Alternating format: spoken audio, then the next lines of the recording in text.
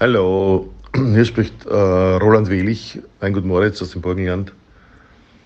Und ich wurde gebeten, ähm, meine Eindrücke und äh, meinen, von meiner Begegnung mit dem Niklas Ertl äh, zu erzählen, was ich hiermit gerne mache. Niklas kam zu mir vor einigen Jahren.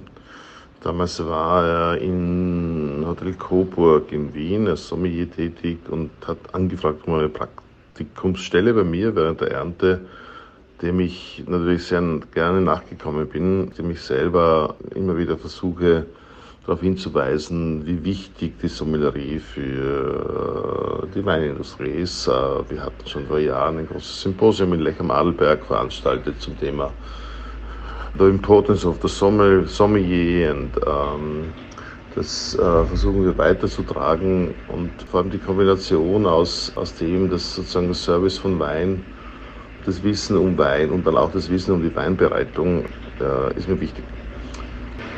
Niklas hat ja gelernt, soweit ich weiß, beim Johannes King.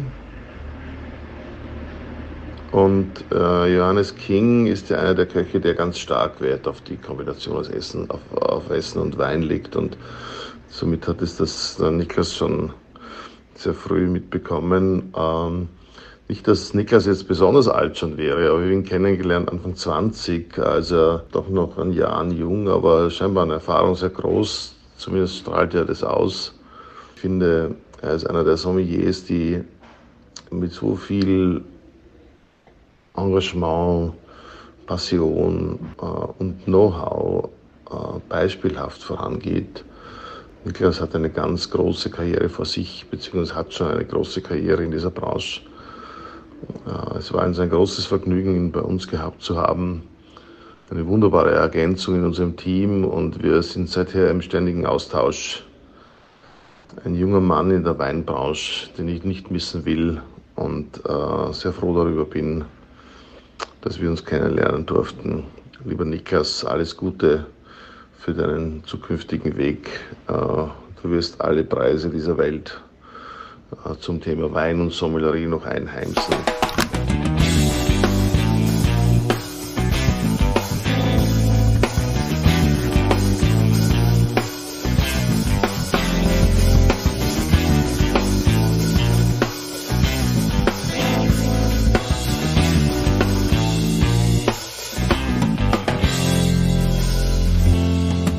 Herzlich willkommen zu einer neuen Ausgabe von Sommelier, die interessantesten Mundschenke unserer Zeit. Mein heutiger Gast hat noch keine 20 Anstellungen oder einen jahrhundertelangen Lebenslauf vorzuweisen, keine 25 Sommelier des Jahres Auszeichnungen, obgleich ich nicht weiß, ob er diese nicht noch bekommen wird, aber er hat eins, eine unfassbare Weinliebe und ein ganz großes Weinherz. Und als ich mit Roland Felix telefoniert habe, meinte er, egal was ich über Niklas Ertel erzählen werde, es wird immer gut. Und ich glaube, genau das kann man in unserem Gespräch spüren. Wie intensiv er Wein lebt und mit welcher Leidenschaft er Wein verkörpert. Aber wie sollte es auch anders sein, denn sein Weinfeuer wurde entfacht bei Bärbel Ring im Söllringhof, in welchem er tätig war, bevor er nach Wien ins Palais Coburg wechselte, um später wieder nach Sylt zurückzukehren, um bei Johannes King in seinem Genussshop eine ganz eigene Weinwelt zu inszenieren, aufzubauen und diese seit einigen Jahren zu leben. Besonders beeindruckend fand ich die Geschichte, die er später erzählen wird, wird, dass er mit zehn Jahren, begeistert von einem Zombie während eines Gardasee-Urlaubs, sich sofort von seinem spärlichen Taschengeld ein Kellnermesser kaufen musste, um eigentlich genau das zu sein, was er jetzt ist. Ein Ausnahmesommelier. Und bevor wir gleich ins Gespräch einsteigen und Niklas euch alle von seiner Weinliebe begeistern kann, möchte ich mich ganz herzlich bei unserem Partner der Schlumberger Gruppe mit den Handelshäusern Segnitz, Schlumberger, Consigliovini und dem Privatkundenportal Bremer Weinkollekt bedanken. Dank ihrer wirtschaftlichen und händischen Unterstützung ist es möglich, dieses Projekt zu realisieren. Vielen lieben Dank dafür. Und jetzt freue ich mich ganz besonders. Und diese Begeisterung werdet ihr 90 Minuten später mit mir teilen. Auf den großartigen, weinverliebten Niklas Ertel. Weißt du noch, wie wir uns kennengelernt haben? Äh, ja, erinnere ich mich sehr, sehr gut dran. Ähm, das war auf einer Reise ins Burgund. Ähm, ich glaube, es war 2022, wenn mich mhm. nicht alles täuscht. Ja, war 2022. Ja, genau, stimmt, weil ja, wir ja. haben die 21er probiert auch. Ich glaube, wir haben ähm, da äh, 80% Concru probiert, oder? Das war echt ein Geschenk. Es hat mich auch so weitergebracht. Ja, also es war wirklich grandios und für mich war halt einfach der Punkt, ähm, ich hatte davor eigentlich mehr oder zweimal geplant, ins Burgund zu fahren und äh, Covid hat da immer einen Strich Oh durchgemacht nein. gehabt. Ja, ja, und deswegen war es dann da umso erfreulicher, Das dass ich dann äh, damit eingeladen wurde zu der Reise. Cool. War es dein Genau, erstes genau. Mal in Burgund? War somit auch mein erstes Mal in Burgund, genau. Wie hast du es empfunden? Ähm, ja, sehr, sehr spannend eigentlich. Ja. Ähm, man muss dazu sagen, wir waren, glaube ich, ähm, im Herbst waren wir da, wenn mich nicht alles täuscht. Ja, Frühherbst, ja. Frühherbst, genau. Und es war eigentlich vom Wetter eher schlecht und dadurch war das ganze Burgund so eher ein bisschen grau, fand ich. Ja. Ähm, und man ist dann doch schon verwundert, wenn man so, so wie ich als sehr junger Mensch ähm, die ganzen großen Weine äh, so auf den Karten hat oder, oder auch trinkt oder mal im Glas hat und auch den, den Preis dahinter irgendwo sieht und dann ins Burgund kommt und eigentlich sieht, dass es doch eine sehr, sehr bäuerliche Region Das fand ist. ich so krass, als ich das erste Mal vor, keine Ja. Ahnung, 25 Jahren da war. Da war ich auch neugierig, habe mich in ein Auto gesetzt und bin dann für drei Tage runtergefahren, um einfach auch mal in den Lagen zu stehen und das zu sehen, wie man das, Ja. also ob man das fühlen kann, ob man den Wein damit verstehen kann. Dann kam ich da an. Ich glaube, mein erstes Dorf, was ich gesehen hatte, war entweder Volnay oder Pomar. Ich stand dann da Ja. auf dem Dorfplatz und denk, echt, das ist es? Und Ja, dann, es ist schon krass, gell? dann liest es irgendwie durch. Ich hatte damals den, ähm, es gab so, so, so eine Special Edition vom Parker mit Lagenkarten und so weiter und dann eben auch den Beschreibungen der einzelnen Dörfer. Und dann siehst du, okay, 130 Einwohner, na ja klar, es ist ein Dorf. Und damals waren die Preise ja noch nicht so crazy und abgehoben, wie es jetzt im Augenblick ist. Aber Ja, ja, klar, du kommst natürlich aus einer anderen Zeit irgendwo her, ne? ja, Und man fragt sich eigentlich so ein bisschen fast, wo geht das ganze Geld hin, ne? Das ist, ist schon, ist schon krass. na, es ist ja für die Winzer größtenteils auch nicht so, na, so nice, dass die Weine dermaßen überteuert werden, dass die Lagen so, so krass teuer sind. Das ist allein, wenn, wenn du Lafont zum Beispiel nimmst, der war ja mehr oder weniger 99 genötigt, ins Macron zu gehen, weil er sich keine Lagen im Burgund, in der Côte d'Or leisten konnte. Und dann natürlich noch die ganz krasse Situation dort mit dem Erbrecht. Also sprich als Winzer, wenn du da irgendwie zwei Kinder hast, ja, musst es aufteilen, gell? Das ist, muss ist entweder aufteilen und dann die Erbschaftssteuer, also die verschulden sich dadurch, dass dass der Vater stirbt oder die Mutter stirbt oder wie auch immer, weil die halt die Erbschaftssteuer auf den gesetzten Wert abführen müssen und dann bist du mit einmal, obwohl du was bekommen hast, mit einem rie- riesen Schuldenberg beglückt sozusagen. Also das fand ich. Ja, du schau, das ist fast ein bisschen wie auf Sylt eigentlich, gell? Wenn du, wenn du ein Haus erbst, ja. äh, was dann einen mehrstelligen oder ja, Millionenbetrag hat, ne? Ja. Und hast ein Geschwisterteil, das kannst du fast gar nicht aufteilen dann, gell? Ja. Ja. Seit wann bist du auf Sylt? Ähm, ja, ich bin eigentlich äh, das zweite Mal auf Sylt, wenn, wenn man so möchte. Ja. Ich ähm, bin ähm, nach der Ausbildung in den Söllringhof gegangen, zu Bäbelring. Das war 2017 bis 2019. Und ähm, danach bin ich dann eigentlich nach Wien gegangen. Ähm, da war so ein bisschen die Idee, ähm, ich durfte ja bei der Bärbel schon Kommissommelier machen.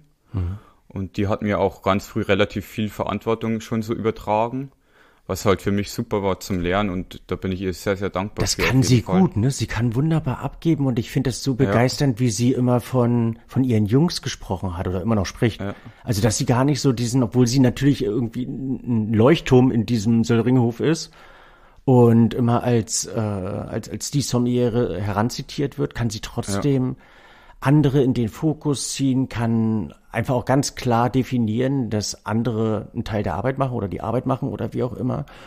Und wenige können so abgeben, können auch ihre Person so abgeben. Also da große Achtung. Ja, das ist wirklich, ja. Und sie hat, ja, sie ist einfach auch ein Mensch, der dann sagt, ja, mach einfach oder Ja. mach mal, so ungefähr. Und wenn du natürlich machen musst oder machen darfst, dann, äh, ja, fühlst du dich ja auch ganz anders gefördert, anders wahrgenommen und hast natürlich eine ganz andere Motivation, ne? wie wenn du jemanden vor dir hast, der dich gar nichts machen lässt oder wo du gar nichts machen darfst. Ja.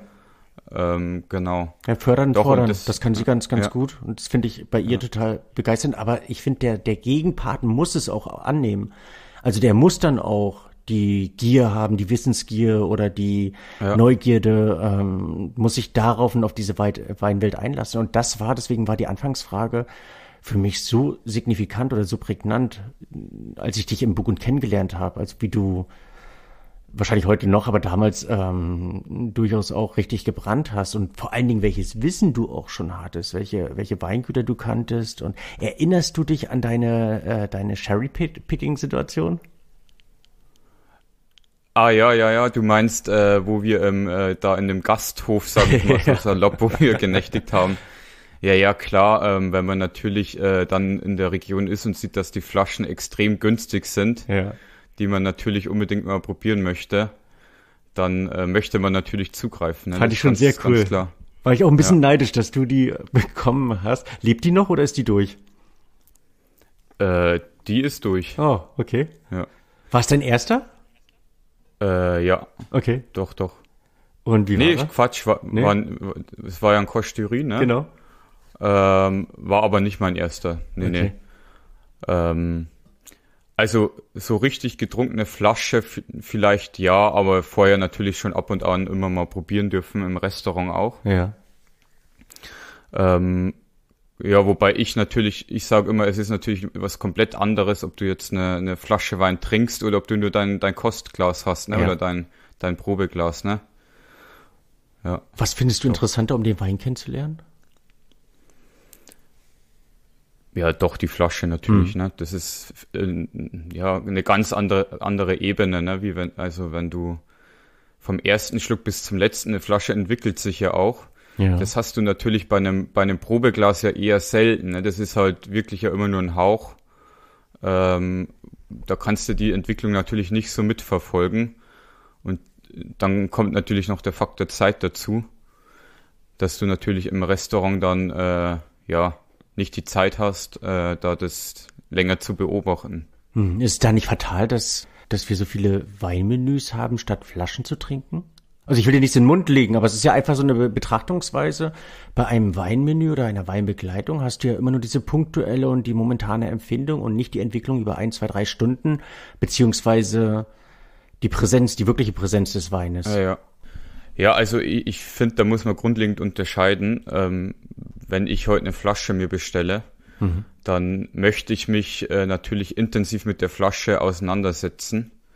Dann ist es irgendwo ein anderer Ansatz wie bei einem Weinmenü, wo es ja wirklich dann für mich eher darum geht, ein Glas zu dem perfekten Gang in dem Fall, ne? Und dann steht vielleicht der, der Wein an sich nicht so im Vordergrund, wie wenn ich eine Flasche trinke. Dann geht's um das, das Erlebnis äh, Speise und Getränk irgendwo, finde ich. Was magst du selber mehr im Restaurant oder bei euch im Bistro? Ausschenken, lieber Weinmenü und die Gäste mitnehmen auf einer Reise oder eine Flasche, wo du sagst, habe ich weniger Arbeit oder keine Ahnung? Also wenn ich heute Gast irgendwo bin, dann eigentlich immer Flasche. Auf jeden Fall. Und als Sommelier? Ähm, Ähm, eigentlich auch lieber Flasche, ehrlich gesagt. ja. Ähm, genau. Wobei natürlich, jetzt muss ich gerade mal überlegen, ähm, doch, also auf jeden Fall Flasche. Und bei uns im Bistro ist es ja so, wir haben jetzt auch nicht das klassische Weinmenü oder Weinpairing. Ähm, wir haben, ich empfehle natürlich immer gerne was zu den entsprechenden Gängen. Aber dass wir jetzt so einen, einen Sechsgang hätten mit Weinbegleitung, das gibt's ohnehin nicht bei uns. Ähm, genau. Von dem her stellt sich im Moment eigentlich eh weniger die Frage so ein bisschen. Ja, aber aus deiner Erfahrung heraus, als du noch im Söllringhof Ja. gearbeitet hast. Du bist das zweite Mal auf Sylt. Ich habe dich da unterbrochen. Ja, genau. Genau. Also ähm, Wien hat gerufen. dann, ja, Wien hat gerufen. Da ging es mir wirklich so darum, noch mal ein bisschen so ähm, noch mal zu lernen, noch mal ein paar große Weine trinken zu dürfen. Deshalb bin ich dann ins Palais Coburg gegangen. Das kann man dort, ja. Ähm, und dann kam Covid und hat uns natürlich einen Strich durch die Rechnung gemacht. Ja. Ähm, und dann war, war ja Lockdown und das Restaurant hatte nur zwei, drei Tage die Woche offen. Und dann hat sich eigentlich ein glücklicher ja, Zufall, wenn man so will, dann äh, ist dann eigentlich entstanden. ähm, ich habe überlegt, ja, was machst du jetzt? Ne? Also nur drei Tage zu arbeiten ist mir viel zu wenig. Ähm, und habe dann äh, mit dem Roland Welig vom Weingut Moritz Kontakt aufgenommen mhm. und habe dann eigentlich bei ihm im März gestartet und habe ein ganzes Jahr bei ihm mitgemacht. Oh, war dann über drei, ja, war dann über drei Tage bei ihm ja. Und drei Tage dann in der Stadt. Und das war natürlich super, ne? Also dann, dann hattest du Praxis und ein wirklich gutes Restaurant, beides zusammen und in, in Roland habe ich ganz, ganz viel zu verdanken. Also der hat also das war wirklich ein Top-Jahr. Der hat, hat neben seine Blaufränkische abends dann immer große Weine aus dem Burgund oder dem Piemont gestellt, ne? Mhm. Blind. Und das war natürlich grandios. Doch. So und lernt man auch eine, Wein trinken ja. oder so lernt man die Rebsorten auch kennen. Ja, und er ist, er ist einfach eine ganz, ganz große Persönlichkeit für mich und großes Vorbild und doch, also, Toll. ja. Und dann, ja, und dann, dann war es so, dass dann der Herbst kam und dann war schon so ein bisschen abzusehen, oh, jetzt kommt der nächste Lockdown. Und der kam dann auch und dann waren wir wieder daheim und dann hat der, der, der King an der Tür geklopft, so ungefähr. Ob ich es mir nicht wieder vorstellen könnte, er bräuchte jemanden. Mhm. Und wenn der King ruft, dann, dann kommt man, ne? und das aber ja. schon in weiser Voraussicht, äh, trotz Lockdown-Situationen, startete dieses Projekt und Genau, genau. Er hat, ja. Ich habe mich dann dazu entschieden, nach Sylt zurückzugehen. Ja. Waren so ein paar mehrere Faktoren. Und ja, was er mir ja gegeben hat im, im Genussshop, ist ja eine Carte Blanche irgendwo. Mhm. Ähm, und wenn du als junger Mensch die Möglichkeit hast, äh, eine Weinkarte selber zu bauen, dann oder das selber in die Hand zu nehmen, dann nimmst du die natürlich wahr, ne?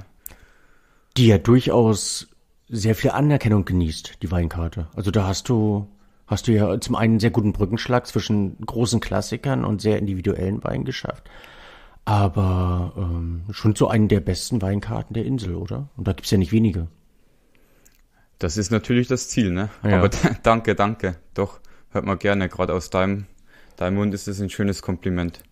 Was war die größte Herausforderung bei der Gestaltung der Weinkarte? Also die Weine zu bekommen, die du gerne hätten, haben, hättest wollen, hätten haben wollen, wie, wie auch immer. Oder überhaupt eine Handschrift herauszuarbeiten, nachdem du vorher bei großen Sommeliers mehr oder weniger in der Schule in der Lehre warst. Mhm. Oder seinen eigenen Geschmack zu repräsentieren, den Sylter Gast abzuholen. Also was war für dich das, das Spannende und die große Herausforderung bei der Gestaltung der Karte, wenn du von Null anfängst und keine Leichen übernehmen musst? Ja, also ein bisschen was war da, aber eigentlich konnte ich im Großen und Ganzen schon von Null aufbauen. Mhm. Ähm, ja, für mich ist eigentlich immer so ein bisschen die Balance wichtig, ob es jetzt zwischen äh, den bekannten Winzern ist und den kleinen, ähm, sage ich mal, Anführungsstrichen Jungwinzer oder noch nicht so bekannten Winzern. Ähm, oder auch halt die Balance, sage ich mal, von, von der Preispolitik, dass du was natürlich nach oben und nach unten hast. Mhm. Ähm, und ich finde es aber auch ganz, ganz wichtig, dass du nicht nur deinen eigenen Geschmack mit einfließen lässt, sondern auch irgendwo den Geschmack der Gäste. Ne? Mhm. Finde find ich sehr, sehr wichtig, gerade in so einem Konzept wie den unseren. Ähm, brauchst du auch, sage ich mal, Weine, die irgendwo jeden abholen. Ne? Das sind zum Beispiel? Ja, ein einfacher Grauburgunder in Anführungsstrichen. Ne? Mhm. Ob man das dann jetzt selber sich eine Flasche abends aufmachen würde, sei ja mal dahingestellt. Ähm, aber wenn du einen Gast damit happy machen kannst und es einen guten Grauburgunder von einem vernünftigen Produzenten gibt, why not? Weißt du, dann, ich bin da, ich bin ungern so ein Missionar, der dann sagt, nee, bei mir gibt's kein Grauburgunder. Ähm, oder ob's jetzt, sage ich mal, äh, der bekannte Super Tusken ist. Mhm. Da könnte man jetzt auch drüber streiten, ob der das Geld wert ist oder wie auch immer. Aber ob du in, in, in, wenn du in dem Moment den Gast glücklich machen kannst, damit ist doch alles wunderbar. Ich glaube, das ist das Wichtige, dass man einen schönen ja. und Wohlfühlmoment schafft und das auch im Rahmen seines eigenen Ethikgedanken.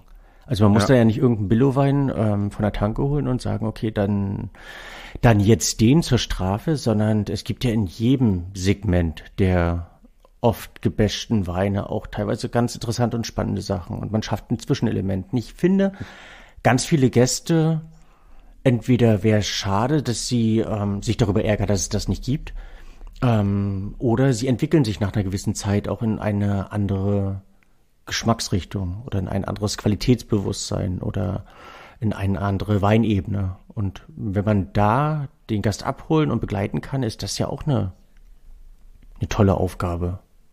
Du, es ist das Schönste überhaupt. Äh, mittlerweile haben wir echt viele, die fragen gar nicht mehr nach der Weinkarte. Hm. Die sehe ich schon vorne reinkommen und dann gehe ich eigentlich direkt hinten an, an, an den Weinkühlschrank und hol direkt was raus, ne? Mhm.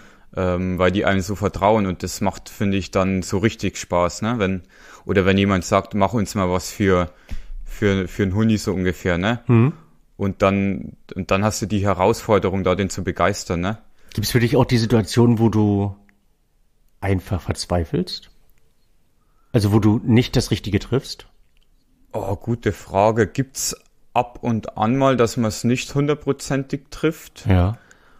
Wobei ich eigentlich, wenn ich eine Empfehlung mache, eigentlich immer sag, du, wenn dir die Flasche nicht schmeckt, dann kein Problem, dann trinke ich die zum Feierabend. Mhm. Dann machen wir was anderes. Also die Option ist eh immer da und äh, leider kommt es nicht so häufig vor. Gehst auch trocken ins Bett. ja, genau, genau. Ähm, aber ja, manchmal schon. Manchmal hast du es natürlich auch so, wenn du so ein allgemein, wenn du so ein, ein junger, junger Mensch bist, dass dann natürlich, ähm, gerade wo ich angefangen habe, auch viele Händler oder so, wenn die mich dann das erste Mal gesehen haben, gesagt haben, oh, sie sind aber noch jung oder ja, wo man sich dann erstmal so ein bisschen durchbeißen muss und auch bei mhm. den Gästen. Ähm, wobei man kann es ihnen ja auch nicht verübeln, ne? man, man rechnet ja vielleicht auch nicht damit. Ähm, aber so richtig verzweifelt bin ich eigentlich noch nicht. Ich hatte es ein paar Mal. Nicht. Also wenn, ja. wenn man Gäste sich gegen oder vor sich sitzen hat und man hat einfach nicht den Wein, also man versteht den Geschmack, man weiß ja. auch genau, was, was sie mögen, was sie suchen, dass sie auch nicht kompromissbereit sind. Aber man hat einfach den Wein nicht. Und da bin ja. ich bestimmt zwei, drei Mal dann auch mit der Erkenntnis und dann auch mit der Aussage aus der Empfehlung, also aus dem Empfehlungsgespräch herausgegangen, da ich sagte, ich bin heute nicht ihr Sommelier. Ich habe nicht mhm. das, was, was sie mögen. Und dann kann man einfach nicht weiter beraten, weil man doktert dann rum und probiert den fünften, sechsten Wein, es wird für den anderen leidlich.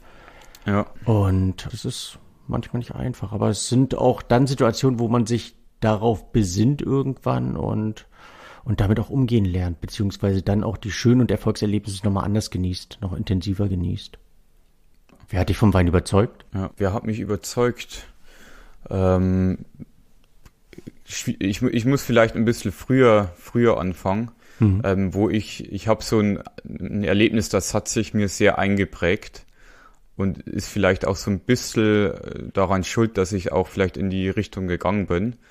Ähm, meine Eltern äh, trinken eigentlich oder immer noch natürlich ähm, abends immer gern gern ein Fläschchen oder ein Gläschen Wein, gell? Mhm. Und jetzt nie was Großes, aber so der der der so ein bisschen der Genussaspekt war schon immer da. Und ähm, mein Vater ist auch gelernter Koch ähm, daher war schon immer so ein bisschen das Thema Kulinarik, aber jetzt eher im, sage ich mal, normalen Sinn. Also wir sind nie in einen Sterner oder so essen gegangen, das nicht, aber schon immer gut und dann wurde natürlich auch eine Flasche Wein bestellt oder auch mal zwei, drei Gänge gegessen, was vielleicht in anderen Familien auch nicht so war oder ist. Und da waren wir dann einmal, ich weiß nicht mehr welches Restaurant das war, in, ähm, am Gardasee im Urlaub und da war ich vielleicht elf oder so, ne, oder zehn. Und da war ein Sommelier, der hat das mit einer Leidenschaft ausgeführt, dieses ganze Handwerk. Und es hat mich so begeistert, dass ich mir mit meinem Taschengeld in dem Urlaub noch ein Kellnermesser gekauft habe. Ah, sehr cool. Und wow. so hat sich dann irgendwie entwickelt und ich war irgendwie fasziniert von den, von den Rebsorten und so mhm. und von den Gerüchen. Ähm, und dann habe ich meine Ausbildung begonnen ähm, ganz einfaches oder mittlerweile oder ja sehr renommiertes Wellnesshotel, aber jetzt äh, kein Sterne-Restaurant mit dabei oder auch kein à la carte Restaurant. Und da hatte ich eigentlich das Glück, dass der der Vater von unserem Küchenchef auch unser Weinhändler war. Okay. Und ähm, der hat immer Wein gebracht und dann so nach ein paar Wochen habe ich ihn dann mal gefragt, nimmst du mich mal mit in die Wachau? So mhm. ungefähr, gell? Und dann war er so total verwirrt, was jetzt der 16-jährige Bub von ihm will er will in die Wachau so ungefähr, gell? weil der soll erstmal seine Ausbildung machen, so, gell? Und äh, dann kam es dazu, dass er dann mal gesagt hat, ja, dann kommt halt mal vorbei, dann probieren wir mal ein bisschen was. Mhm. Und dann ist da eigentlich eine, eine Freundschaft entstanden und er, du brauchst natürlich jemanden, ne? du hast nicht die Kohle am Anfang, du hast nicht das Wissen, du weißt nicht, wo du anfangen sollst. Und er hat mich so ein bisschen an die Hand genommen und hat halt so äh, mich so ein bisschen äh, in Österreich und Deutschland so die Basics einfach beigebracht. Mhm. Und das war sehr, sehr wertvoll. Doch, ja. Hast du Weine damals anders gesehen als heute? Ja, auf jeden Fall. Ja. Eine ganz andere, viel romantischere Vorstellung vielleicht, ne? Irgendwo. Was ist für dich Wein? Glück einfach, ne? Okay, schön. Glück, Leidenschaft, ja. Äh, alles miteinander. Ähm, ich finde, wenn du ein, ein, Glas Wein im richtigen Moment gibt es doch nichts Schöneres, oder? Was ist der richtige Moment? Also wann ist ein perfekter Moment für dich für Wein? Ähm, Was ist da wichtig? Ist der Raum, ist die Luft, ist es äh, der Partner, die Partnerin? Ist es das Essen? Ist es so wann findest du jetzt wow? Du am schönsten finde ich es, wenn du frei hast und ähm, machst dir am Nachmittag irgendwann ähm, mit deiner Partnerin oder mit meiner Freundin in dem Fall mhm. ähm, auf der Terrasse oder im Wohnzimmer eine schöne Flasche Wein auf oder mit Freunden. Ne? Also Geselligkeit finde ich schon sehr wichtig. Mhm. Also allein eine Flasche Wein aufmachen passiert sehr, sehr selten. Mhm. Also Geselligkeit ist mir wichtig. Und am schönsten ist es, wenn der Tisch einfach voll ist mit lieben Leuten, mit Freunden, mit Familie. Mhm. Wenn es ein bisschen was zum Essen gibt, wenn man ein paar Flaschen aufmacht, ein bisschen über das Essen spricht, über über die Weine und doch, das ist doch Glückseligkeit, auf jeden Fall.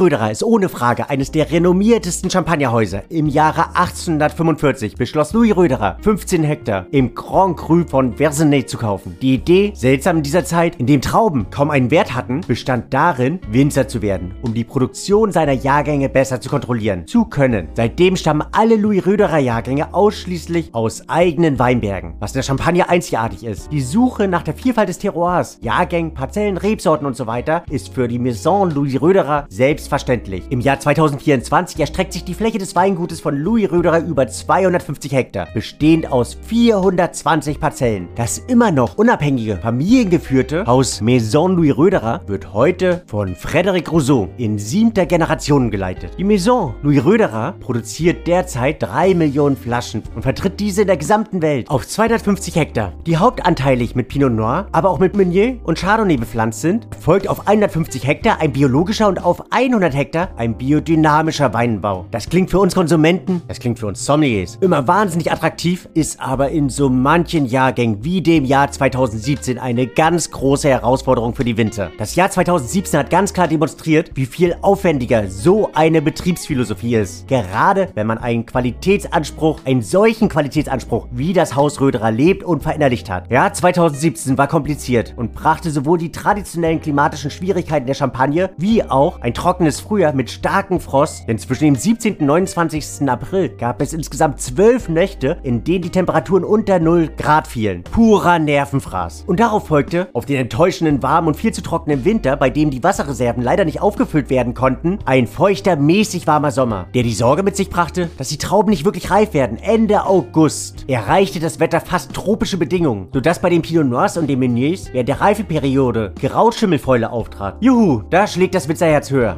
Die Weinlese im Jahr 2017 fand in rasanter Geschwindigkeit vom 31. August bis zum 19. September statt. Von Work-Life-Balance kann da keiner reden. Aber die Weinlese in dem Weinberg musste äußerst schnell vorangehen und war enorm aufwendig, da nahezu jede Traube regelrecht von den Erntehelfern geduzt wurden, weil sie hochakribisch und besonders sorgfältig ausgewählt wurden. Und was aber enorm wichtig war, denn man hatte das Ziel, einen der Qualitätsnorm des Hauses Louis Röderer entsprechenden Rosé-Champagner aus dem Jahre 2017 zu erzeugen. Der Rosé stammt aus den 35 kleinen Parzellen des mit Pinot Noir bepflanzten Weinberges La Rivière und den wesentlich kühleren Kalksteinböden, auf denen der Chardonnay wächst. Dieser Rosé ist das Ergebnis einer langen und sanften Infusion, welche es ermöglichte, die Sanftheit und Reife der Beeren zu extrahieren und gleichzeitig ihre immense salzige Frische zu bewahren. Zu den mazerierten Pinot Noirs wird der Saft der Chardonnay-Trauben gegeben, sodass es zu einer gemeinsamen Fermentierung und einer perfekten Integration kommt. Letztlich verlief also alles richtig gut. Die verzögerte Entwicklung im Sommer sorgte für die strahlige Frische in dem Wein, die kompakte Entwicklung im Herbst für die Weichheit des 2017er Jahrgangs. Also wenn es einen Arbeitstitel für den 2017er Rosé geben sollte, dann ist es Weichheit und Frische. Der Rosé 2017 ist das Ergebnis einer Kombination, mit welcher das Beste aus 60% Pinot Noir Trauben aus Cumier, die für die Waldbeernoten, sprich die wilden Erdbeeren- und Himbeernoten, Blutorange, Blütenblätter, Macaron und Rosencreme-Aromen verantwortlich sind und 40% Chardonnay, vornehmlich aus Tree, dank derer sich ganz feine Zitrusfruchtaromen und die jodhaltigeren, harzigeren, würzigeren Zedernholzaromen in dieser besonderen Cuvée zu finden sind. Diese Kombination schenkt diesem Rosé einen wunderschönen Roséton mit leicht kupferfarbenen Reflexen. 29% der Gesamtmenge wurden im Eichenholzfass ausgebaut. 24% haben eine BSA im Lebenslauf zu verzeichnen und schenken dem Wein ein leicht schokoladencremiges Fundament. Ja, am Gaumen gibt sich der Wein schmackhaft, schmeichelnd und elegant. Die 8 Gramm Dosage je Liter schenken dem Wein eine samtweiche Textur und überlässt der würzigen Note ihren Platz. Die fruchtige Gaumenmitte, die fast an Likör erinnert und durch frische jodhaltige Noten energievoll wirkt, endet in einem Finale, das an Schokolade, an frisches Kalkgestein mit einem leicht salinen Eindruck erinnert. Ein Champagner ohne Frage zum Genießen, zum sich drin verlieben, zum Entdecken. Und ich finde es unfassbar spannend, wenn man diesen Champagner richtig greifen möchte, ihn in zwei verschiedene Trinkgeschwindigkeiten zu genießen. Was heißen soll, dass man gerne ein Glas in drei bis fünf Minuten und ein zweites später in fünf bis zehn Minuten genießt. Der Trend geht ja ohnehin zum Zweitglas, also daher kann man diese beiden Gläser auch gerne nebeneinander probieren. Und es hat den Vorteil, dass man beim ersten Glas den Eindruck eines Speed-Datings mit diesem rosa Gesellen hat und beim zweiten Glas so richtig intensiv in die Konversation einsteigen kann. Vielen Dank für dieses Rosé-Erlebnis dem Hause Louis Röderer und ein großes Dankeschön auch dem deutschen Importeur, dem Handelshaus Schlumberger.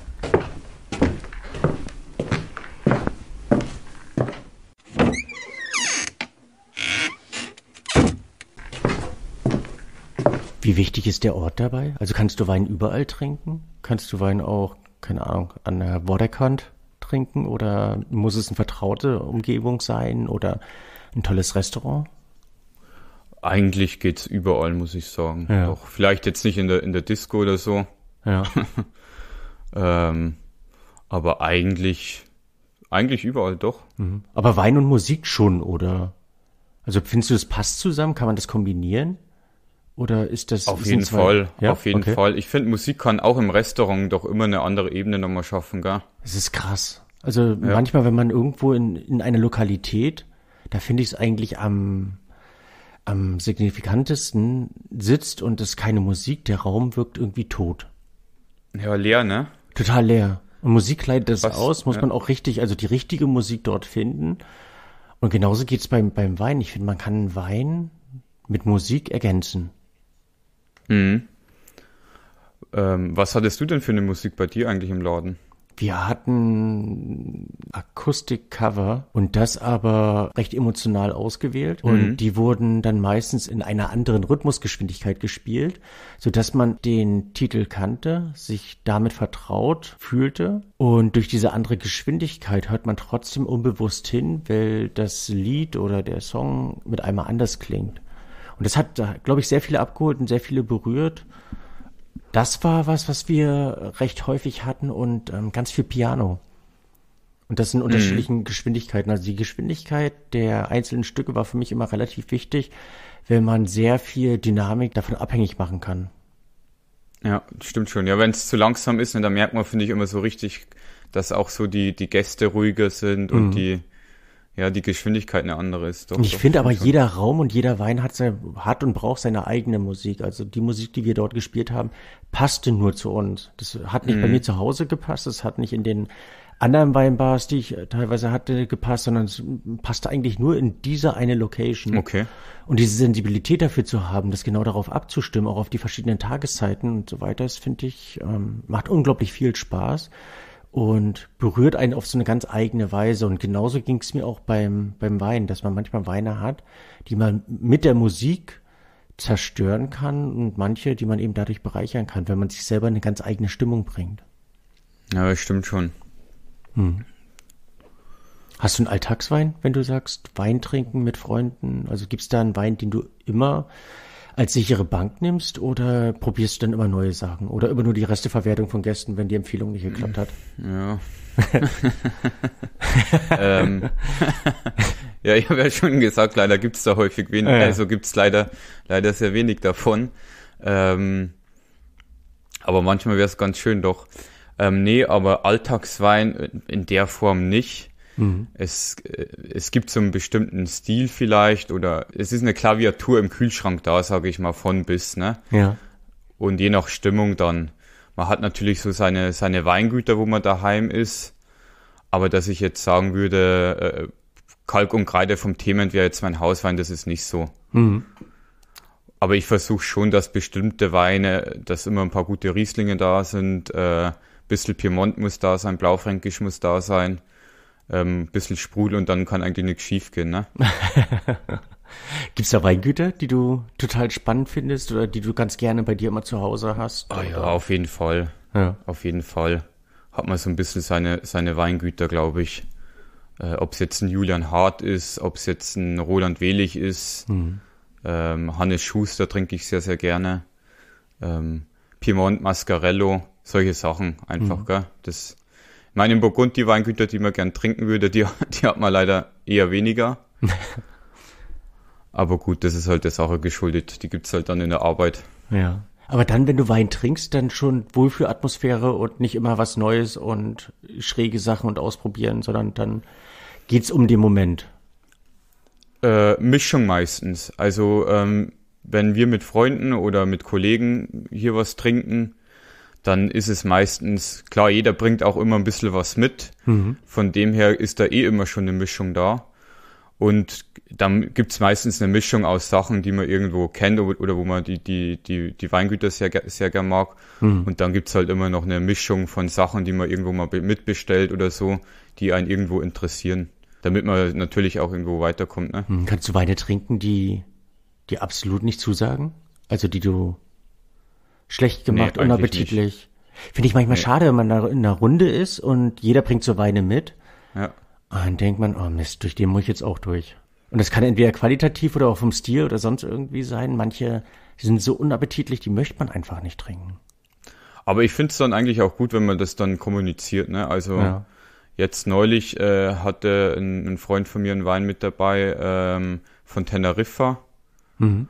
Und das war halt schon zu alt, einfach zu oxidiert. Mhm. Und der, der Wein war noch lebendig, aber der hat jetzt keine Freude gemacht. Ne? Und dann, dann habe ich zu ihm auch gesagt, du, dafür ist mir heute der Feierabend zu kostbar. Mhm. Ähm, lass was anderes machen, so ungefähr. Ne? Was ja auch gut ist, also auch daran kann man, also an dieser ehrlichen Aussage kann man wachsen oder kann sich darauf einlassen. Ich hatte es manchmal auch, wir haben ja extrem viele gereifte Weine in der Bar auch ausgeschenkt. Und mhm. jemand, der das einfach nicht kannte, das gewohnt war oder dem Wein nicht genügend Zeit gegeben hat oder man braucht ja dafür auch ein gewisses Verständnis, muss sich da rein denken, reinarbeiten. Wenn der gesagt hat, nee, ist nicht meins und man kann dann in die Kommunikation gehen, sich austauschen und sagen, hier, warte mal fünf Minuten. Dann hat man immer noch die Chance. Ja. Wenn dein Freund dann gesagt hätte, ja, aber sieh den Wein von der Seite oder so, ja. dann ist es dann trotzdem ein Lehrstück. Ja, stimmt, stimmt auf jeden Fall. Hm. Was würdest du nie mit Wein tun? Also ist Wein für dich ein Heiligtum oder aus der Flasche am Strand oder mit Strohhalm oder? Hm. Strohhalm müsste jetzt nicht sein. Es ist aber auch schon mal passiert, dass ich äh, ohne Weingläser einen Wein getrunken habe, ne? Aus, aus der Flasche im Notfall. Ne? Ja. Gab es auch schon mal, weil klar, wenn man jung ist, ist unterwegs, ähm, und man hatte gerade keine Weingläser mehr zur Hand, dann ist es halt auch mal so passiert. Ja. Ähm, ja, mischen oder sowas finde ich geht gar nicht. Also irgendwie so. Ja. Wobei äh, ein, ein, ein, guter Spritzer, ein guter weißer Spritzer äh, nach einem heißen Tag ist auch was Schönes auf jeden Fall, gell? Ich finde das teilweise gar nicht so verkehrt und das also, habe ich ja. äh, interessanterweise beim Willi in der Freundschaft dass dort und ähm, beim anderen Kollegen, beim Henrik, Ka Henrik Hanes ja. im äh, VO damals, ja. kennengelernt. Ich würde es mir selber, glaube ich, nie machen oder bestellen. Aber der Willi hat mir einfach so einen Spritz, Gespritzen hingestellt und Ja. dann dachte ich, boah, das, das passt jetzt genau, bevor du die ersten drei, vier Schlucke gegen den Appetit, die Gier, den Durst trinkst, ist sowas eigentlich viel vernünftiger. Ja, manchmal wird ja auch Wein dann mehr zum Getränk, ne? Ja. Ähm, in dem Fall, wie du es jetzt gerade beschrieben hast. Ne? Ja. Wenn, dann ist es ja eher ein Erfrischungsgetränk, wenn du so möchtest, ne? Und kein Genussmittel mehr, wenn man Ja, irgendwo, oder? erstmal so, und da finde ich das vernünftig, ja, stimmt. Ja. Man nimmt ja auch dann nicht den besten Wein, ne? Das ist ja dann eh immer ein Ja, aber durchaus einen anständigen trotzdem, Grüner. genau. Ja, doch, ja. Hast du, hast du oder hattest du ein Vorbild? Also du hattest erzählt, wer, wer dich eingeführt oder geprägt hat, aber gibt es bei dir aktiv noch jemand, der, wo du sagst, Ah, wow, Du auf jeden Fall, auf jeden Fall. wer? Ähm, sogar, sogar ganz schön viele, ähm, wo ich sagen würde, ist ein Vorbild. Ja. Doch, finde ich schon. Ob, ob du es jetzt auf jeden Fall auch bist, ne, mit, mit dem Podcast-Projekt und so, das finde ich schon richtig klasse. Ich finde, das ist schon, ist auf jeden Fall ein Vorbild, ne? Oder äh, eine Bärbel Ring, Mhm. ähm, ein, ein Henrik Thomas, solche Leute sind auf jeden Fall Vorbilder. Mhm. Gerhard Retter ganz weit vorne bei mir. Doch, da schaut man doch als junger Mensch auf und also auf jeden Fall lässt sich inspirieren. Da, von den Leuten kann man ja so viel lernen. Ähm, doch, doch, doch, auf aber jeden Fall. bist du anders? Also ist deine Generation anders als die Generation Gerhard, Bärbel, Hendrik etc.? Also habt ihr einen jeden- anderen Umgang mit Wein? Ah, das ist eine, ist eine gute Frage, auf jeden Fall. Ähm, weiß ich nicht. Es ist, wäre natürlich die Frage, wie, wie die Weinwelt damals gewesen wäre, ähm, wo die jung waren. Aber die Weinwelt hat sich ja auch komplett verändert, ne? Also das gan- ganze Thema Naturwein und so, gell, das gibt's ja noch nicht so lange in der Form, auf jeden Fall. Na, ich glaube, es Ähm. hat sich damals, als ich jung war, insofern verändert, dass die Informationsmöglichkeit ganz andere waren. Du konntest Mhm. dich halt nicht ähm, ad hoc informieren, sondern du musst dir ein Buch kaufen und musstest Ja. das Buch auch lesen.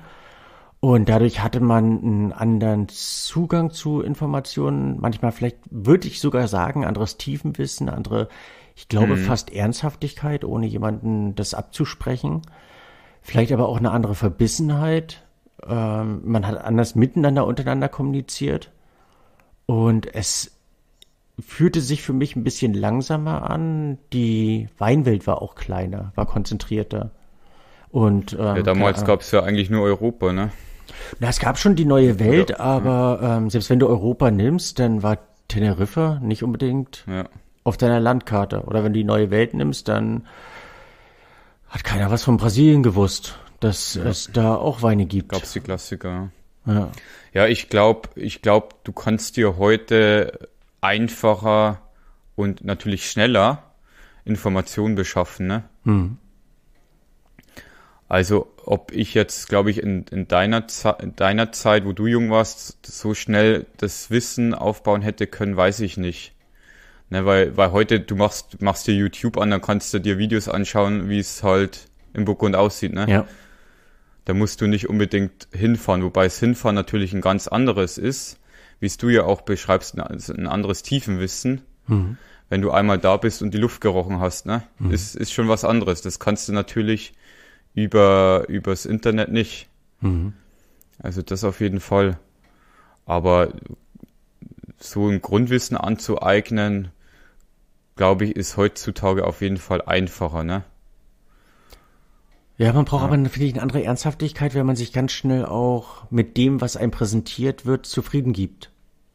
Ja, das also wenn stimmt. da drei bunte Bilder, vier Winzer, Winzerinnen, dann bist Mhm. du da dann schon, ach, sagst du super, so sieht die Wache aus, mega. Vor allem bei den Winzerinnen. Inwiefern hat sich die Generation sonst verändert? Also Ja, ist ich glaube, ich glaube, ich glaube doch sehr auch, also es ist auch nicht mehr so sehr die Bereitschaft vielleicht da, ähm, so viel Energie in den Beruf äh, einzubringen. Das auf jeden Fall. Ich glaube, so wie ihr das früher gemacht habt, ne, so, so 16 Stundentage, das, also das geht ja heute gar nicht mehr. Mhm. Also macht ja keiner mehr mit. Mhm. Ne, das, das hat sich auf jeden Fall verändert. Die so berühmte Work-Life-Balance, ja. Ja. Findest du es genau. gut? Also findest du das richtig, also dass es rein gesetzlich, ethisch und so weiter richtig ist, ähm, ist ja ich unabstreitbar, find, aber ja. manchmal finde ich es total schön auch, sich so komplett in dieser Sache auszuleben. Also wie ein Sportler, der halt ja. nicht nur seinen zwei Stunden Sport macht, sondern das so richtig freakig lebt. Ich, ja, also ich, ich, ich mag es eigentlich gern, muss ich hm. sagen. Also, ich meine, es muss, muss jetzt nicht der 16-Stunden-Tag sein, aber ab und zu, wenn es so in der Nebensaison gibt, so Tage, wo man wirklich nur acht Stunden oder neun Stunden arbeitet, mhm. ich finde, dann kommt man nach acht Stunden heim und dann denkt man sich, ja, das kann es ja jetzt nicht gewesen sein. so ungefähr mal ist. Ich bin da immer komplett überfordert eigentlich. Mhm. Ähm, oder so ein, ab und an mal, wenn man mal so Zeitausgleich so einen, einen Tag mehr in der Woche frei hat, da bin ich eigentlich eher überfordert, weil ich eigentlich dann schon eher immer so ein bisschen heiß, heiß aufs Geschäft bin. Mir macht das Spaß und ja. Ähm, also 16 Stunden müssen nicht sein, aber so, so 11, 12 Stunden finde ich eigentlich immer schon ganz gut. Mhm. Ist ja, ist ja auch ein schönes Gefühl, ne? Wenn man dann rausgeht und man weiß, was man gemacht hat, ne? Mhm. Und vielleicht fehlt das auch der Generation heute irgendwo, ne?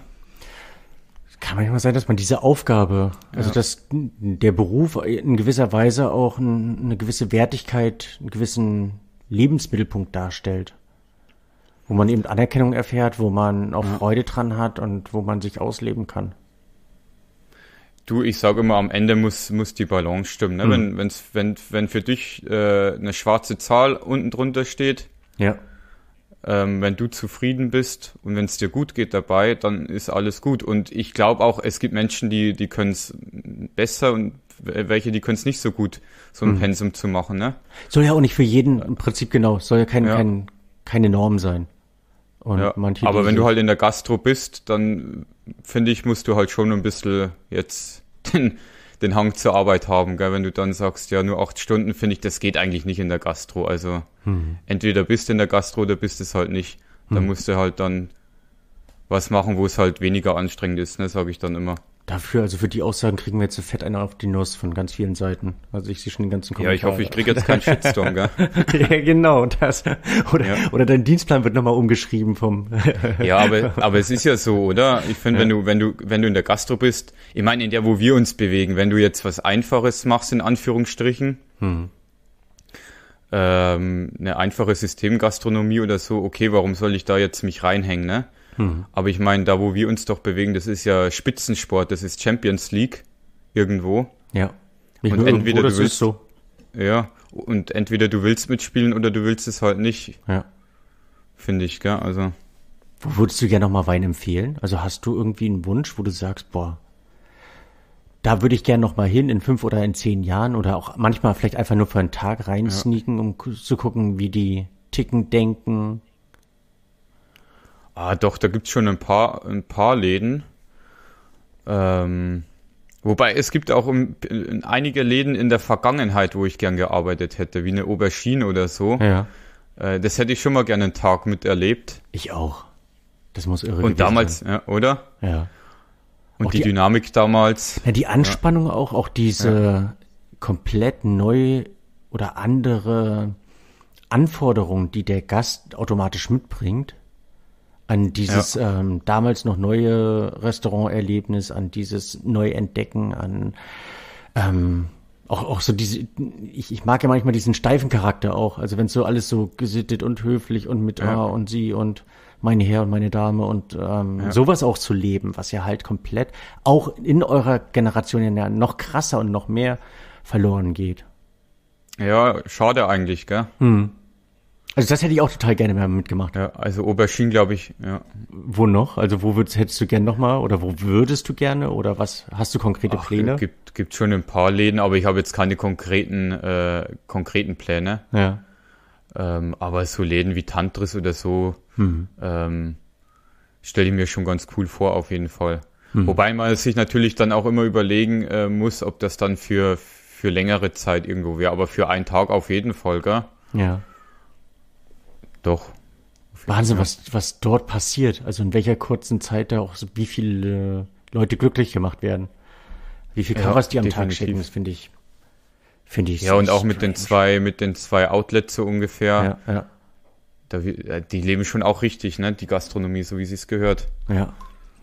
Dann, Ja. dann auch den Service dort zu leben. Wie wichtig ist für dich Weinservice? Also, was, was macht ihr bei euch? Worauf legst du ganz viel Wert?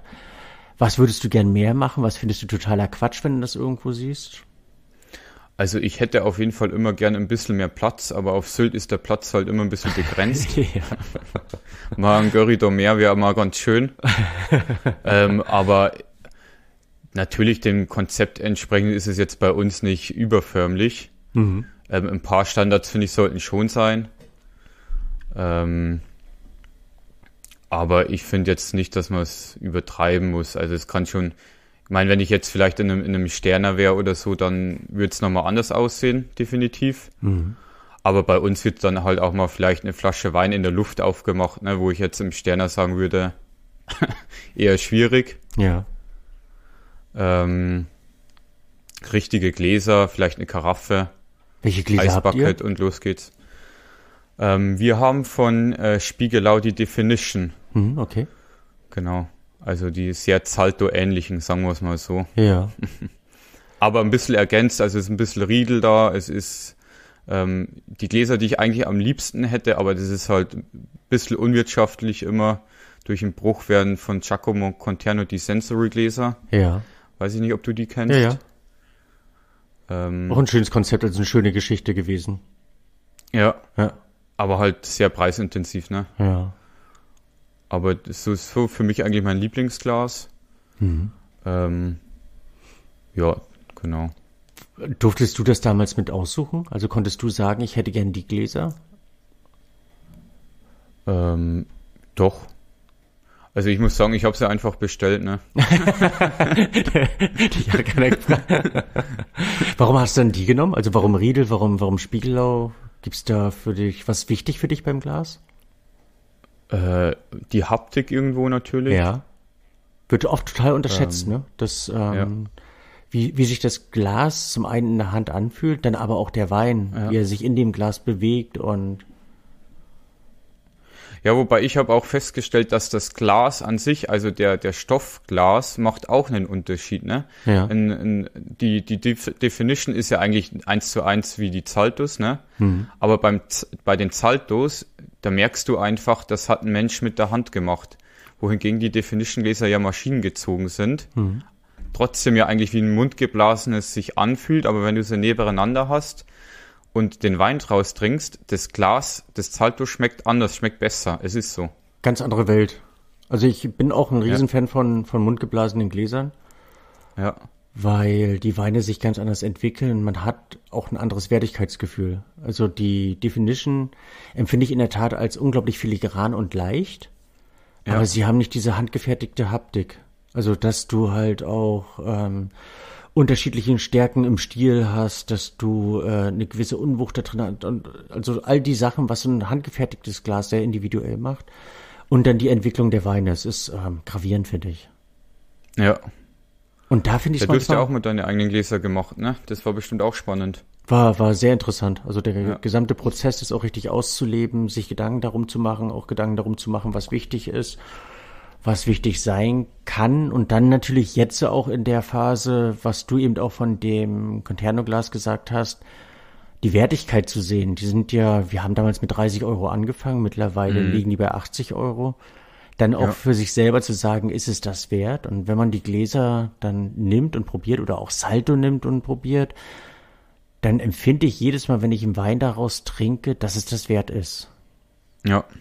Und dass sich das ähm, dann lohnt, der Mehrwert auch lohnt. Man muss halt sich Gedanken darum machen, wie man die Gläser poliert und wen man sie polieren lässt, aber ähm, man kann so viel mehr aus dem Wein, aus der Flasche, aus der Qualität herausholen. In welchem Glas hast du den Wein? Ähm, ich habe den Wein gerade in einem Zalto Universal. Ähm, die Quintessenz äh, Sauvignon von Kaltern. Magst du Sauvignon? Äh, doch, eigentlich, eigentlich gerne. Doch, Ja. doch. Ist jetzt vielleicht nicht meine Lieblingsrebsorte, Ja. ähm, aber doch, durchaus gerne. Ich finde, Vielleicht, äh, vielleicht lieber die, die südsteirischen Vertreter. ja. Ähm, Aber ich finde, beim Sauvignon hast du eigentlich, du, du weißt immer, was du hast, ne? Also durch dieses Aromenprofil, ähm, doch, mag ich sehr gern. Für mich ist eine ganz super dankbare Arbeitsrebsorte.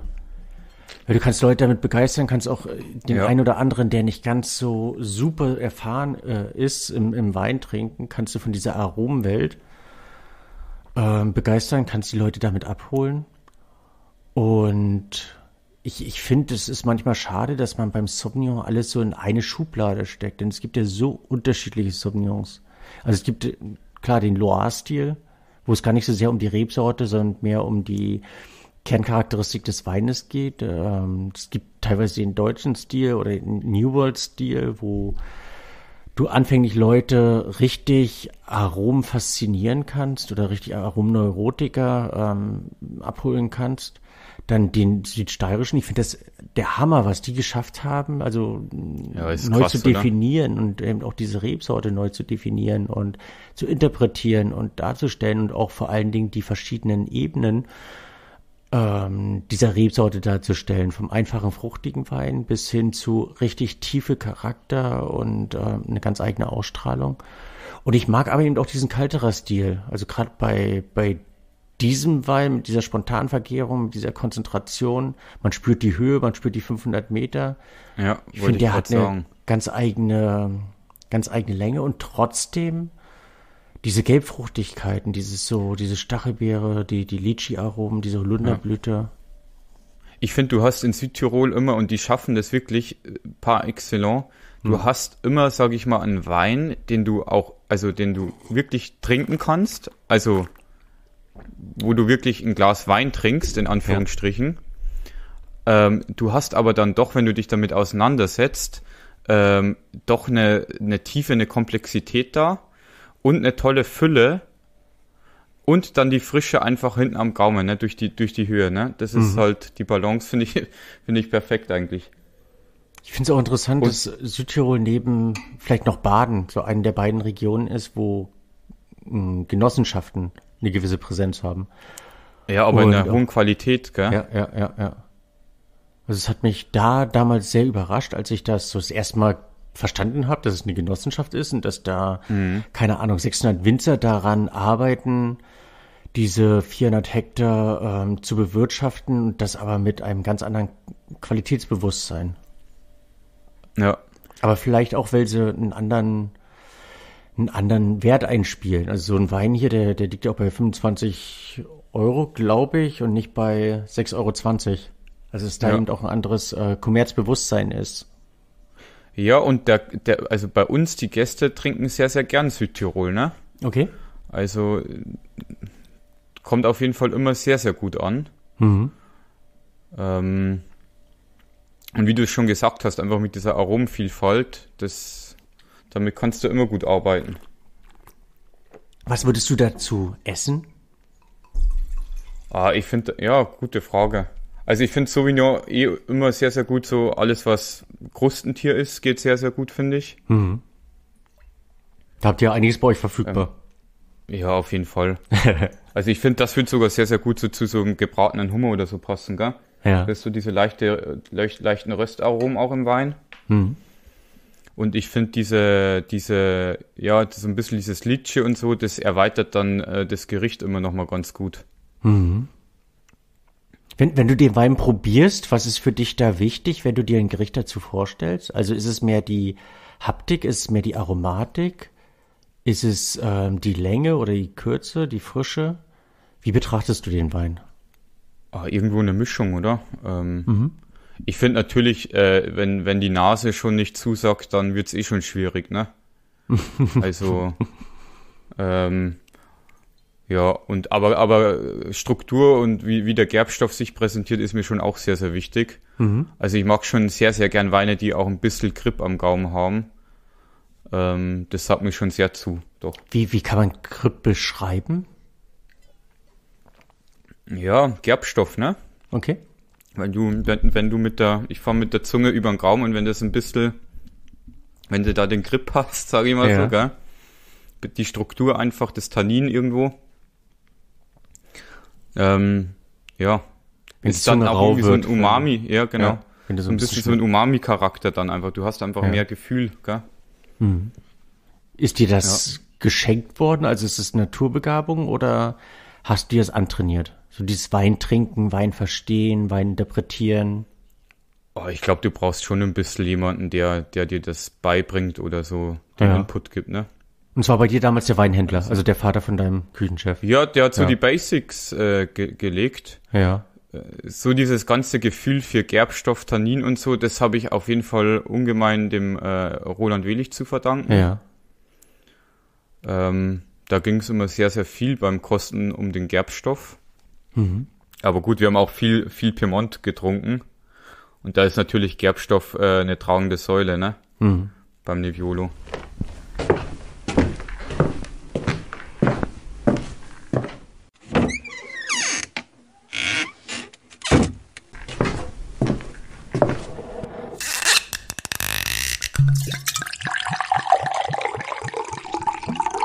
Ist definitiv eine absolute Trendspirituose. Und damit meine ich nicht den Trend, der in den Clubs abgefeiert wird. Auch nicht den Trend, an dem sich Freaks, Nerds oder Snobs abarbeiten. Sondern den Trend für Liebhaber, die sich einfach gerne mit absoluter Qualität beschäftigen. Und auch in der Spirituosenwelt ist es so, dass wenn einer der angesehensten und erfahrensten Produzenten einmal out of the box denkt, entstehen nicht selten bemerkenswerte und sehr außergewöhnliche Produkte. So passiert es bei der Distillerie Tissantier Fies, die legendär und bekannt für ihre Kon Cognac sind. In diesem Haus hat man es geschafft, mit ihrer Kompetenz, die man ganz klar über das Vermehren von Spirituosen definieren kann, das Thema Rum komplett neu zu denken. Vier Generationen, 150 Jahre Erfahrung mit dem traditionellen Charenteser Brennverfahren, bei dem der Grundwein zweimal im Kupferkessel gebrannt wird, sind die Grundlage für diese neue Rum-Idee. Ja, und in diesen vier Jahrzehnten hat man gelernt, nichts dem Zufall zu überlassen. Bei ihrem Kernprodukt, dem Cognac, überwachen sie die gesamte Produktionskette vom Weinberg über die Brennerei Brauerei bis hin zum Keller und letztlich der Abfüllung. All diese Ressourcen stehen Ihnen zur Verfügung, um einen eigenen qualitativen, hochwertigen Qualitätsanspruch gerecht zu werden. Und man geht dabei ganz eigene, manchmal richtig verrückte Wege. Etablierte allein sechs eigene Brennstrecken, sorgte für genügend Lagerfläche, denn Zeit ist ein absolut wichtiger Faktor bei den Spirituosen. So verfügen sie allein über 14 eigene Keller in der Nähe der Brennerei, in denen 2000 Eichenfässer und weitere 11 Millionen Flaschen gelagert werden können. Ein ein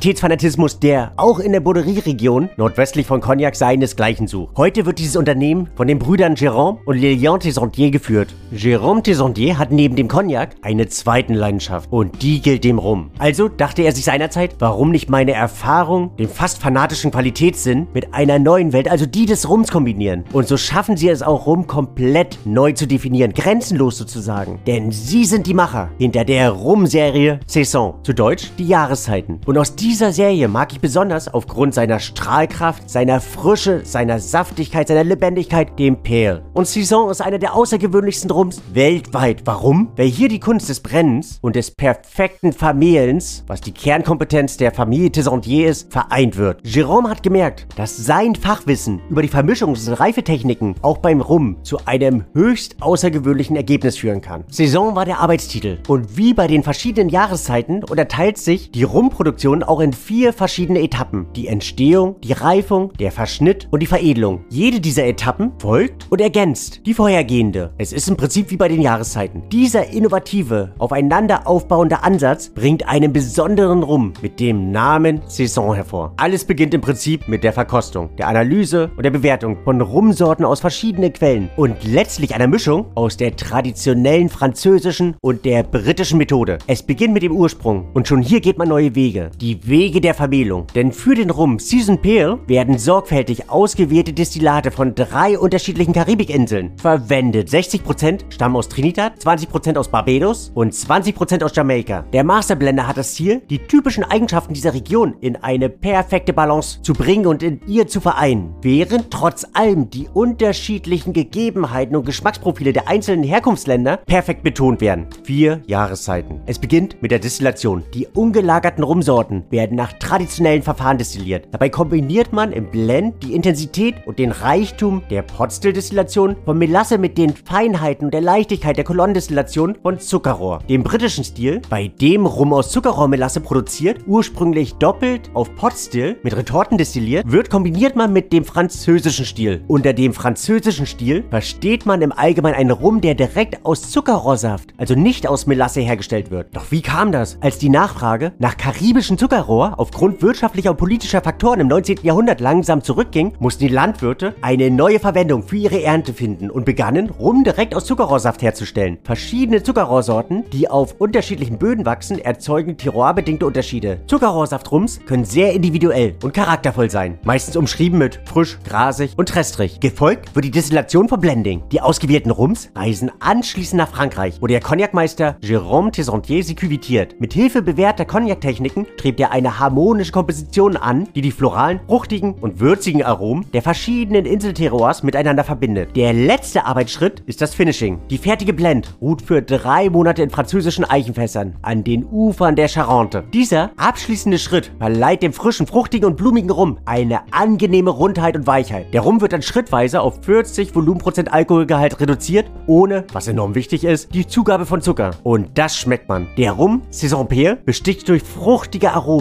mit ganz leichten Noten von flambierter Banane und Vanille, gefolgt von einem honigartigen Abgang. Dieser frische und authentische Rum eignet sich perfekt zur Herstellung ganz besonderer Cocktailkreationen, verleiht ihnen Tiefe und Komplexität oder eben auch für den ganz puristischen Genuss. Sehr gerne empfehle ich auch, den Rum möglichst nicht bei 28 Grad Raumtemperatur, auch wenn man das im karibischen Raum so macht, sondern ihn bei 16 bis 18 Grad zu genießen, um die Feinfruchtigkeit und die Frische in diesem Rum zu betonen. Und zu gerne sollte auch das Glas, in dem dieser Rum serviert wird, wenn man ihn dann pur genießen möchte, nicht zu klein sein, denn dieser Rum kann Volumen vertragen. Eine großartige Rum-Idee. Vielen Dank der Familie Tessentier für diesen hochkreativen Ansatz und ein großes Dankeschön dem deutschen Importeur, dem Handelshaus Schlumberger.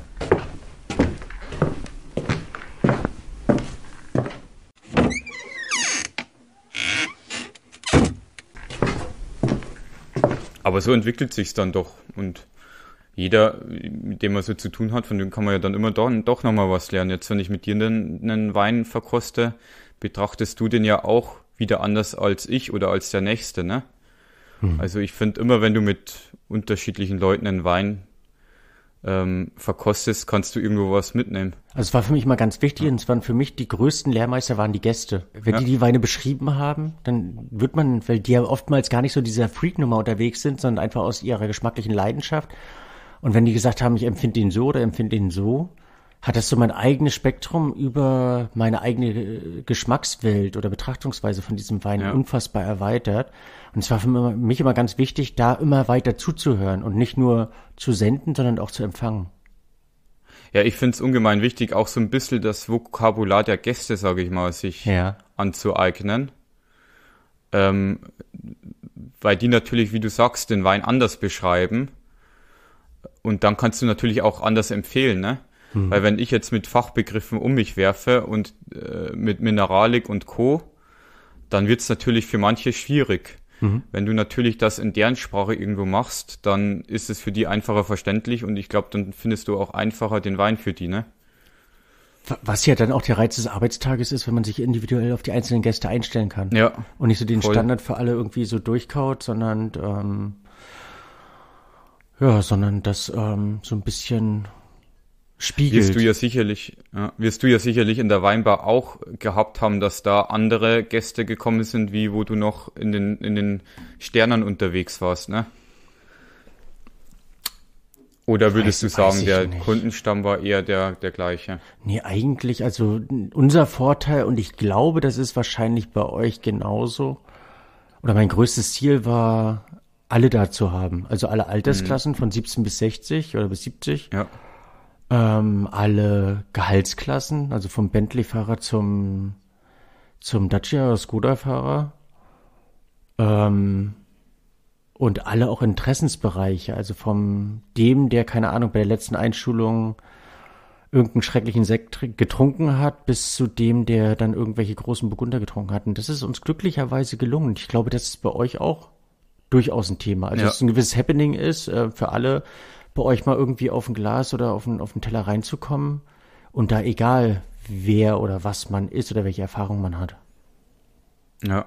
Ja, ich finde, das macht gerade den Reiz aus irgendwo, oder? Du, Mhm. bei uns hast du jemanden, der kommt rein, isst ein Törtchen und trinkt einen Espresso dazu.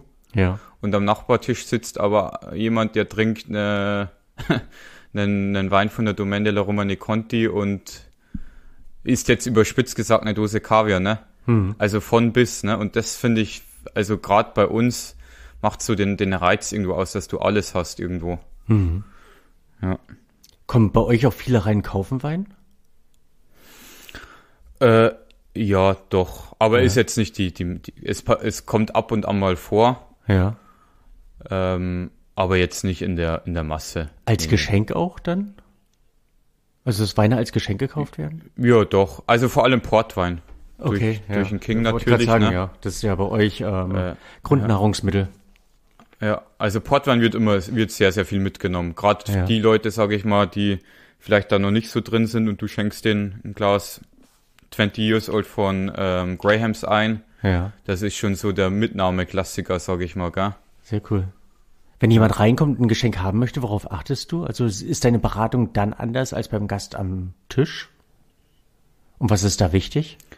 Naja, der Unterschied ist ja, glaube ich, der, dass der Gast ja im Restaurant für sich selber bestellt und der, der schenkt, ja ähm, den Geschmack von dem Beschenken erstmal irgendwo beschreiben muss oder wissen muss. Ähm, deswegen wahrscheinlich ist da die Beratung doch eine andere, doch. Wie kriegst du das Ähm. raus? Also wie tastest du dich daran? Hast du da ein Schema, wo du sagst, Ja, ich finde natürlich Budget finde ich schon irgendwo wichtig zu wissen. was ist ein gutes Budget für ein Geschenk? Gut, ihr auf Sylt tickt ein bisschen anders, also die Hälfte von dem. für den Rest von Deutschland. Nee, äh, du, was heißt gutes Budget? Also ich sag, ab 15 Euro kann man sehr, sehr gut arbeiten. Okay. Also da findet man auf jeden Fall was. Und ähm, Beispiel jetzt gerade, wir haben ja eine, eine, eine Hauscuvée, nenne ich es mal, vom äh, Michi Andres aus der Pfalz. Äh, aus Weißburgunder und Chardonnay. Das kostet 15 Euro, wenn du es bei uns mitnimmst und da machst du eigentlich jeden happy. Okay. Ne, also damit kann man schon arbeiten. Oder mit 15 Euro, da kriegst du ja vielleicht auch schon mal einen Ortswein oder so. Also da kriegst du schon was Hochqualitatives hin. Sollte ein Geschenk immer einen gewissen Rahmen nicht überstreiten? Also wenn jetzt jemand DHC verschenken möchte, würdest du sagen, ach nö, du lass mal? Oder sagst du, wenn einem das wert ist, was kostet die Welt? Wenn er es ausgeben möchte, soll er es machen, oder? Okay. Also mal davon abgesehen, dass man die Weine ja leider eh nicht, oder was heißt leider eh nicht außer Haus. Ja, war jetzt ein schle schlechtes Beispiel. Ja, aber- ja. Aber jetzt mal mit einem hochklassigen Burgunder, wenn, wenn er jetzt sagt, eine, Flasche Rousseau oder Co. und derjenige ist ein Burgunder-Liebhaber, warum Hm. denn nicht? Okay. Gibt's für dich selber Grenzen nach oben oder unten, wenn du Wein trinkst, geschenkt bekommst, dass du die aufmachst oder irgendwo im Restaurant bestellst oder oder bist du Ja, da? doch, ja? auf jeden Fall. Wo sind die auf jeden Grenzen? Fall gibt's Grenzen. Also nach unten gibt's auf jeden Fall, also unter 50 im Restaurant passiert eher selten. Mhm. Ähm, und nach oben natürlich ist man ja limitiert, ne? Man, Durchs eigene man ist ja Budget. jetzt auch kein, kein Großverdiener irgendwo. Ja. Ähm, aber es, ab und an leistet man sich natürlich mal was, aber eher selten über 500. Okay. Eher unter 500. Also Mhm. über 500, da muss es schon was sein, was einen sehr reizt oder genau. Sammelst du Wein? Äh, was heißt, ja, nicht im, also nicht im großen Stil. So ein bisschen, bisschen was ist da, bisschen was legt man weg. Aber da fehlt einem dann auch der Platz und Ja. ja, auch Ja, die Kellersituation auf Sylt ist nicht ganz so ideal, ne? Das stimmt, das stimmt. Ich meine, ich habe daheim einen, einen Chambrère stehen, der ist immer gut gefüllt. Ja. Und bei meinen Eltern im Bayerischen Wald ist auch ein kleiner Stock. Gibt's da bestimmte Genau. Weingüter, wo du sagst, die möchte ich fürs Alter weglegen oder da weiß ich, die explodieren irgendwann nach fünf Jahren so in den Preisen, die würde ich gerne jetzt schon oder hast du da deine, deine Leuchtsterne-Fixpunkte? Julian Hart kommt eigentlich jedes Jahr die Subskription. Ja. Das kommt halt. Und dann daneben halt links, rechts immer so ein bisschen. Mhm. Ähm, ja. Also könnte ich jetzt nicht sagen, dass man jetzt von einem Weingut ausschließlich sammelt Mhm. oder weglegt. Vom Roland Welig vielleicht immer mal noch ein bisschen was. Mhm. Ähm, aber ansonsten ist es eher immer eine Mischung, dass man einfach mal ein, bisschen, ein paar Weine immer mal gereifter hat. Mhm. Ja. Gab es für dich den Wein deines Lebens, wo du gesagt hast, wow, mindblowing? Boah, da gab's gab's viele positive Erlebnisse, aber jetzt den, den einen Wein hätte ich jetzt nicht. Ja. Aber hat man ja, aber habe ich eher immer wieder mal, dass man sagt, oh, mindblowing, ne? Ja. Gestern beispielsweise im Restaurant äh, einen 87er äh, rotes Tor Kabinett vom Hirzberger. 87. Ja, Das war ja nicht unbedingt das größte Jahr der Welt. nee, nee, aber Top Wein auf Wow. jeden Fall. Cool. Und vor allem, wenn man das in der Reife, also es war eine perfekt gelagerte Flasche, Ja. ähm, wenn man sowas mal nochmal irgendwie im Glas haben ka- kann, dann finde ich, ist das schon auch immer mindblowing. Auch wenn es Ja. jetzt vielleicht kein 100-Punkte-Wein ist, aber Mhm. äh, ja. Habt ihr die im, im Verkauf bei euch? Also habt ihr die im eigenen Stock? Äh, ja, ich hatte, ich hatte ein paar gereifte Wachauer jetzt über Trinkgreif in Wien, Ja. was man sehr empfehlen kann, ähm, Ja. bekommen. Genau. Ja, ich habe wieder ein bisschen die Liebe zu, zu Wachau entdeckt eigentlich. Mhm. Ähm, Gerade so zu den gereiften Sachen. Das taugt mir schon sehr, sehr gut, so alles so aus den 90ern und so. Das, das macht schon richtig viel Spaß. Finde ich auch und sind teilweise trotz des Image oftmals unterschätzt. Also auch jenseits Ja. der großen Namen. Welche Weinregion ist sonst unterschätzt? Hast du da irgendwas oder irgendein ja, eine Weinart, die ist? unterschätzt, unterschätzt. Ähm, gute Frage. Ich, ich glaube nach wie vor so diese ganzen Ostblock-Geschichten Mhm. sind noch unterschätzt. Hast du da mal was probiert, was dich begeistert hat? Also was ich richtig, richtig abfeiere, ist äh, Wiener Smora aus Kroatien. Ja. Finde ich sehr, sehr spannend. Ähm, dann Vino Groß finde ich super. Ähm, ich liebe Formint. Mhm. Also die ganzen Geschichten aus Tokai, das ist ja eigentlich auch, wenn du sagst, das ist klar, das ist in unserer in unserer Bubble ist es vorhanden, aber eigentlich ist es schon unterschätzt, wenn du es wenn du es jetzt mal im Allgemeinen betrachtest, oder? Auch im edelsüßen Bereich.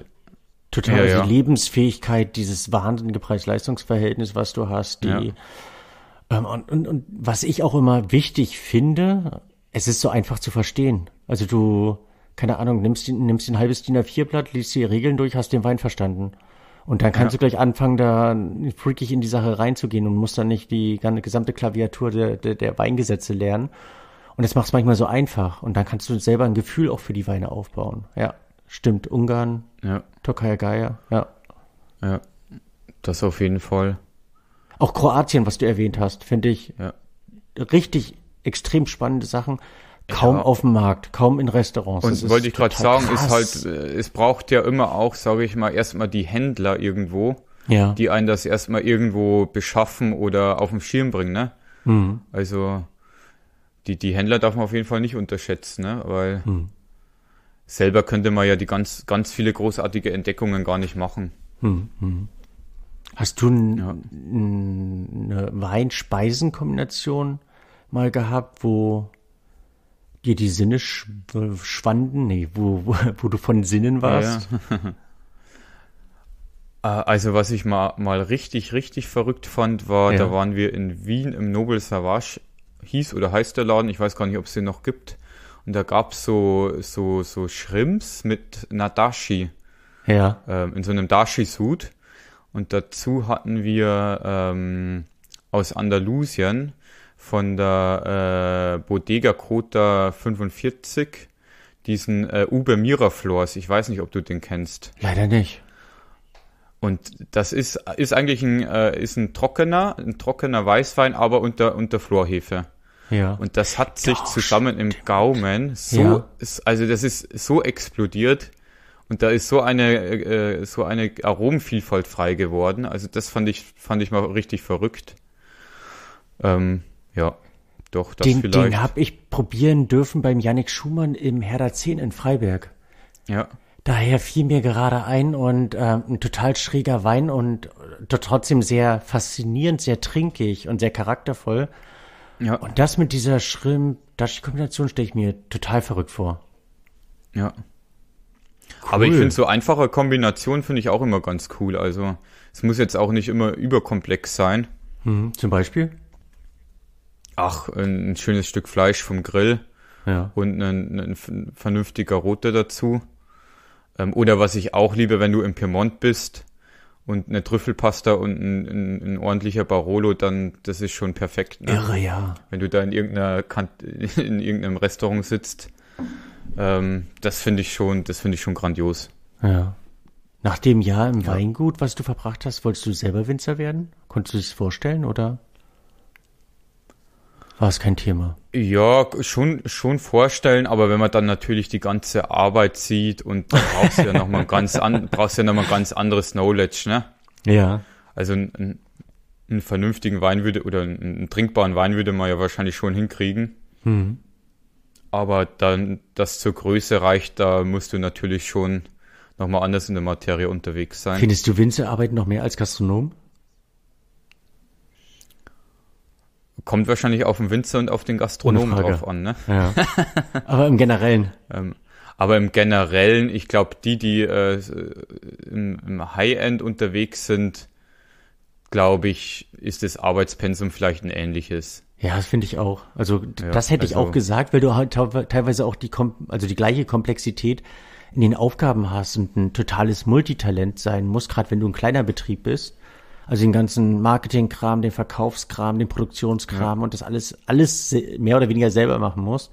Und ich finde, da sind sehr viele Parallelen gegeben. Wahrscheinlich verstehen die beiden sich deswegen auch. Wo wäre dein Weingut, wenn du dich denn doch fürs Thema Arbeit und äh, Weingut entschieden hättest? Was wäre für dich eine Traumregion? Ach, Vielleicht, vielleicht im Burgenland. Okay. Könnte ich mir vielleicht vorstellen. Doch. Welcher Teil Ja. vom Burgenland? Also Eisenberg finde ich schon sehr, sehr spannend. Oh, schön. Einfach das Terroir. Ja.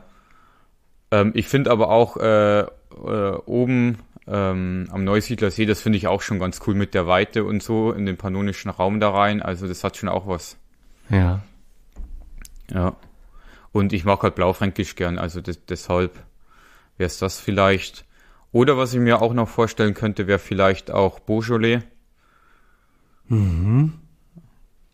Auch Ähm, interessant, ja. Finde ich auch eine ganz, ganz grandiose Rebsorte und da gibt's so viel guten Wein für so einen schmalen Taler. Ist teilweise erstaunlich. Und die werden seltenst gereift getrunken und ich finde, da kommt die Größe so richtig zum Tragen. Wollte ich grad sagen, also das ist- und diese Ja. präzise Fokussiertheit in der Entwicklungstextur, das finde ich. Ja. Und witzigerweise wird's in der Reife, finde ich, dann den, den Burgundern dann doch sehr, sehr ähnlich teils, gell? Ja. Also spricht auch so den gleichen Gaumen an. Also du kannst viele Burgundertrinker mit dem Beaujolais total überzeugen und äh, überraschen. Und ähm, finde ich, ja, total komplett unterschätzt. Unterschätzte Region. Ja. Ist auch eine unterschätzte halt- Region. Ja. Die unter dem leidet, dass äh, das Image halt so, so grottig ist und die Winzer sind teilweise so unfassbar potent und so traditionsbewusst und einfach großartig. Ja. Findest du, es gibt was, ähm, was dem Wein nahe kommt? Also gibt es irgendein Getränk, was man mit Wein vergleichen kann? Gute Frage. Ich glaube jetzt so in der, in, der, in der Komplexität vielleicht irgendwo Tee. Hast du selber die Erlebnisse auch schon gemacht oder? Ja, also ich habe ich hab in der Ausbildung mit einem mit einem Teesommelier zusammen, also im Mitarbeiterhaus gewohnt. Ja. Und in der Teildienstpause haben wir immer äh, ja Tee von A bis Z durchprobiert. Also Okay. da gab es schon auch ein paar spannende Erlebnisse. Ja. Gerade so, wenn es dann so um äh, Gyokoros oder sowas geht, das finde ich dann schon sehr, sehr spannend. Wobei da fehlt mir jetzt die Zeit, dass ich da jetzt so richtig mal in die Tiefe einsteigen könnte. Was aber durchaus ein Ziel sein kann. Also, Ja. das finde ich gar nicht so un. Aber so ein guter Gyokoro, das hat schon so eine Ähnlichkeit mit einem mit einem großen Burgunder, ne? ja. Umami, Länge, Tiefe, Komplexität. Man bespricht Ähm. den Tee auch ganz selten so in der Form, wie wir Wein besprechen Ja. oder sehen oder betrachten. Und manchmal ist es vielleicht so auch der Mangel daran. Also es gibt ja manchmal die Situation, dass man manchen Weintrinkern vorwirft, ähm, sie würden dieses Getränk Wein nicht ernst genug nehmen oder nicht ernst genug betrachten oder sonstiges, aber vielen geht's ja bei Mhm. anderen Getränken genauso, beim Tee oder dass die ähm, einfach nur trinken und nicht nachdenken, Ja. nachschmecken, sich damit auseinandersetzen. Man muss nicht immer einen riesen, eine riesen Wissenschaft draus machen, aber manchmal ist es vielleicht gar nicht so, so verkehrt. Ja, das stimmt schon. Was wärst du außer Sommelier? Boah, das ist eine, das ist eine gute Frage. Keine Ahnung, ich kann es dir eigentlich nicht sagen. Also ich fühle mich schon sehr, sehr wohl in meinem Beruf Mhm. oder allgemein in der Gastronomie. Deswegen, ja, vielleicht Bäcker oder sowas könnte ich mir auch gut vorstellen. Ja. Aber jetzt, dass ich sagen würde, es gibt noch was irgendwie daneben, was mich jucken würde oder was ich mir vorstellen könnte, eher schwierig. Ja. Also da fühle ich mich schon sehr, sehr wohl. Also Gastro durch und durch. Doch, das Sehr passt cool. auf jeden Fall. Ja, vielleicht Gibt's- Koch. Ja, ist ja auch Gastro. Aber Ja. finde ich ähm, auch interessant. Also wenn man sich mit dem Beruf identifizieren kann, wenn man dann in diese andere Welt noch mit rein und in eine andere Empathie auch für die Kollegen aufbauen kann. Hast du einen Ausgleich? Hast du irgendwas, was du auf Sylt surfen? Ja, das habe ich leider noch nicht angefangen.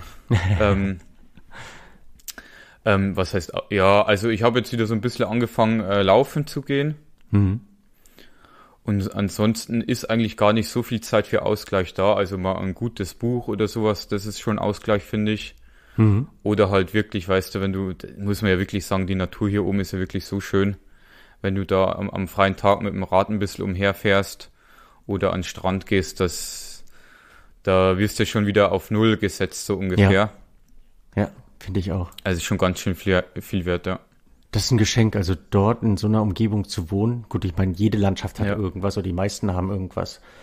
Aber dort ist es ein doppeltes Geschenk. Also das ähm, kann ich mehr als Ja. nachvollziehen. Ja, ich, ich, ich brauche, von mir brauche ich drei Minuten zum Strand, ne? Das ist ja schrecklich. Also, ja, zu Fuß, also da zweimal umfallen, dann bist du im, im Wasser so ungefähr. Sehr cool. Hast du einen Weinladen, der dich mal richtig abgeholt hat? Also, was ich schon immer richtig schön fand, war in der Fischerklause. Ja. Ähm, das war schon immer schön mit dem, mit dem Gerhard. Der hat sich ja auch immer gut Zeit genommen. Ja. Und da weiß ich noch, kurze Anekdote. Ähm, da sind wir mal, ähm, haben wir wirklich viel gearbeitet und dann sind wir in der Saison, hat man dann einen Tag frei. Das war noch in der Söringhofzeit. Mhm. Und dann äh, bin ich mit einem Kollege aus dem Söringhof, sind wir hingefahren und haben gesagt, jetzt, jetzt trinken wir mal einen G-Max so ungefähr, jetzt leisten wir uns mal, gell? Mhm. Und ähm, dann haben wir den G-Max aufgemacht und deswegen muss ich auch sagen, ist, ist der Gerhard auch ein unglaubliches Vorbild und den habe ich auch viel zu verdanken. Und dann hat er blind äh, FX Pichler unendlich daneben gestellt. Und das war, war ein ganz, ganz, ganz, ganz cooler Tag, doch, doch. Okay. Und mit der Seeterrasse und so und das Ja. hat mir schon immer sehr gut gefallen. Was war deine Erkenntnis aus dem Vergleich? Unendlich und G-Max? Boah, schwierig. Zu der, zu der Zeit war es ja auch schon so, dass der, dass der, der unendlicher, der hat ja auch Botrytis und so. Mhm. Ähm, ja, wenn man dann solche Weine trinkt, manchmal ist man dann nicht so komplett geflasht, ne? Ja. Das war vielleicht so die, die Erkenntnis. Ähm, aber es sind beides große Weine auf jeden Fall, aber komplett unterschiedlich. ja. Das ja. auf jeden Fall hat man mitgenommen. Also, dass man sie eigentlich nicht miteinander vergleichen kann. Ich finde die, diese Weine haben, oder diese Weine kann man richtig genießen, wenn man sie nicht bewertet. Weil die Ja, Weine genau. irgendwo anders, anders berühren, als es andere Weine tun. Und was bei solchen Weinen oftmals für mich auch signifikant ist, ist ähm, eine gewisse Trinkfreude, eine gewisse Lebendigkeit, eine Vitalität. Ja, Und dass, dass sie nicht dieses ja sie sind nicht sättigend, finde ich. Ja, genau, Ja. genau. Ich finde, großer Wein darf nicht sättigend sein eigentlich. Ja. Ja. War das, Aber ansonsten Weinläden, Ach, gibt's, gibt's ein paar. Ich finde auch so in Frankreich, in Frankreich teils auch so diese unscheinbaren Weinbars. Mhm. Äh, das finde ich sind eigentlich immer die großartigsten Weinerlebnisse. Ja, ja. Ähm, wenn du da, da sitzt und in, in Frankreich, die leben es irgendwie nochmal anders, habe ich immer das Gefühl. Ähm, oder auch in Italien. Da ist irgendwie die Kulinarik nochmal irgendwie hat dann anderen Stellenwert. Ja. Wenn du da irgendwie ganz einfache Charcuterie oder ganz einfache äh, gute Wurst aufgeschnitten oder Käse mhm. und äh, ein guter, solider Wein dazu und, und, und fertig ist das Glück so ungefähr. Mhm. Ja. Also es wird sowohl von, von Genießerseite als auch von gastronomischer Seite ganz anders gelebt, mit einer anderen Selbstverständlichkeit. Ja. Es wird weniger ein Tamtam drum gemacht, sondern man macht es einfach und genießt es einfach und es hat eine ganz eigene Wertigkeit. Ja, und ich glaube auch in der Breite ist, ist teils eine andere ja, Leidenschaft für Genuss ja. da. Ja. Oder für Kulinarik. Es ist selbstverständlicher irgendwie in den Ländern. Ja. Aber das kriegen wir irgendwie nicht hin.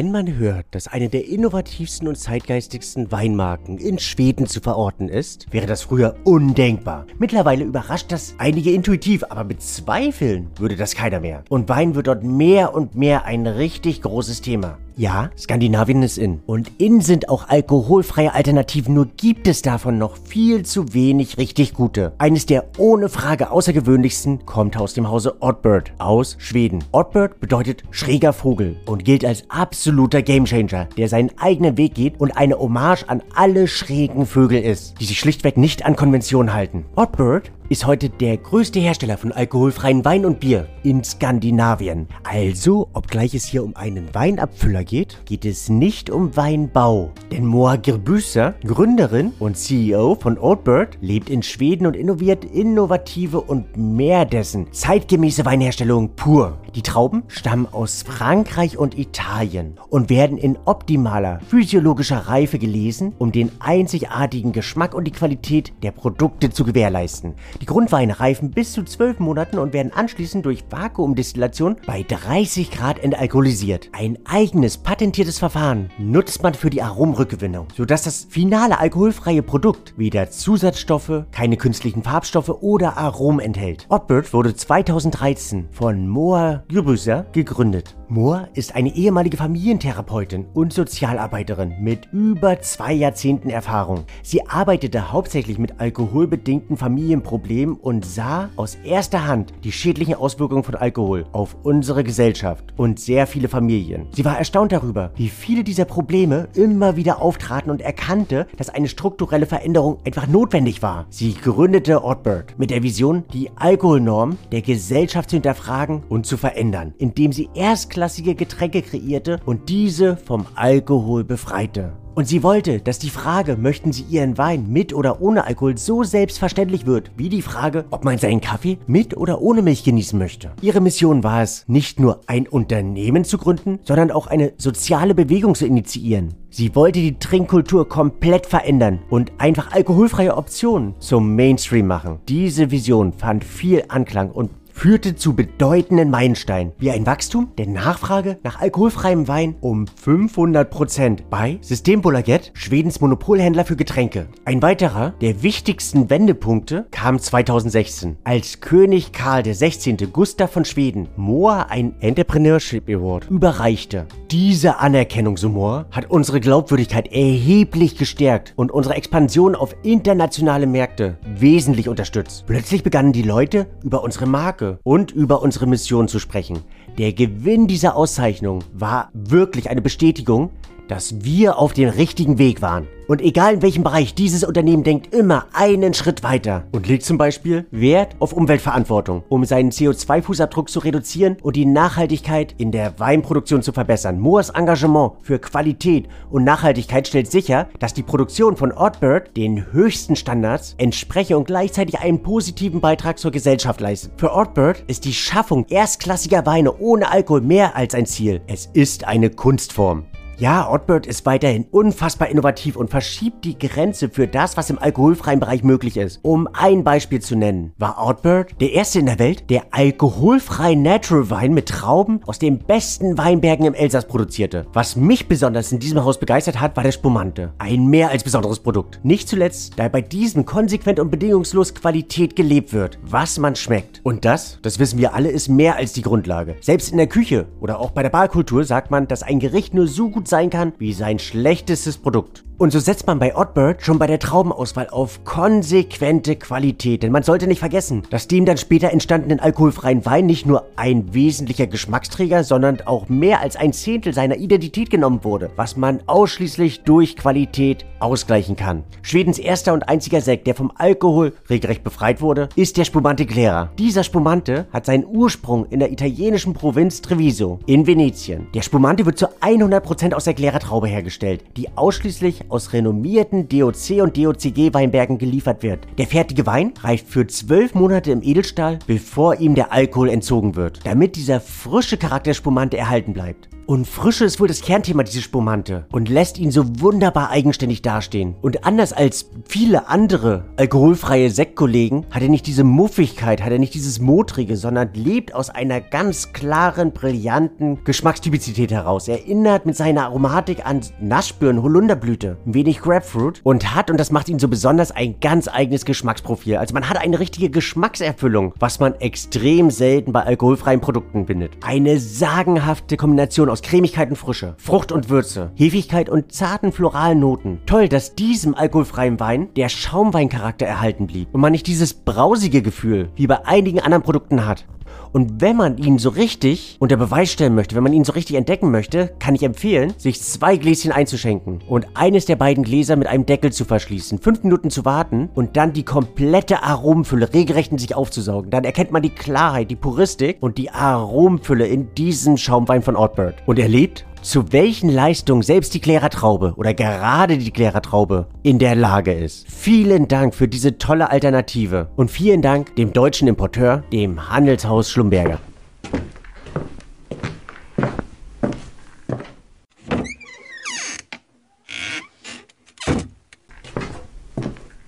Hast du mal ein richtig krasses Sommelier-Erlebnis erleben dürfen oder dem beiwohnen dürfen oder selber erlebt? Also was richtig Schönes oder was richtig Schreck Schreckliches?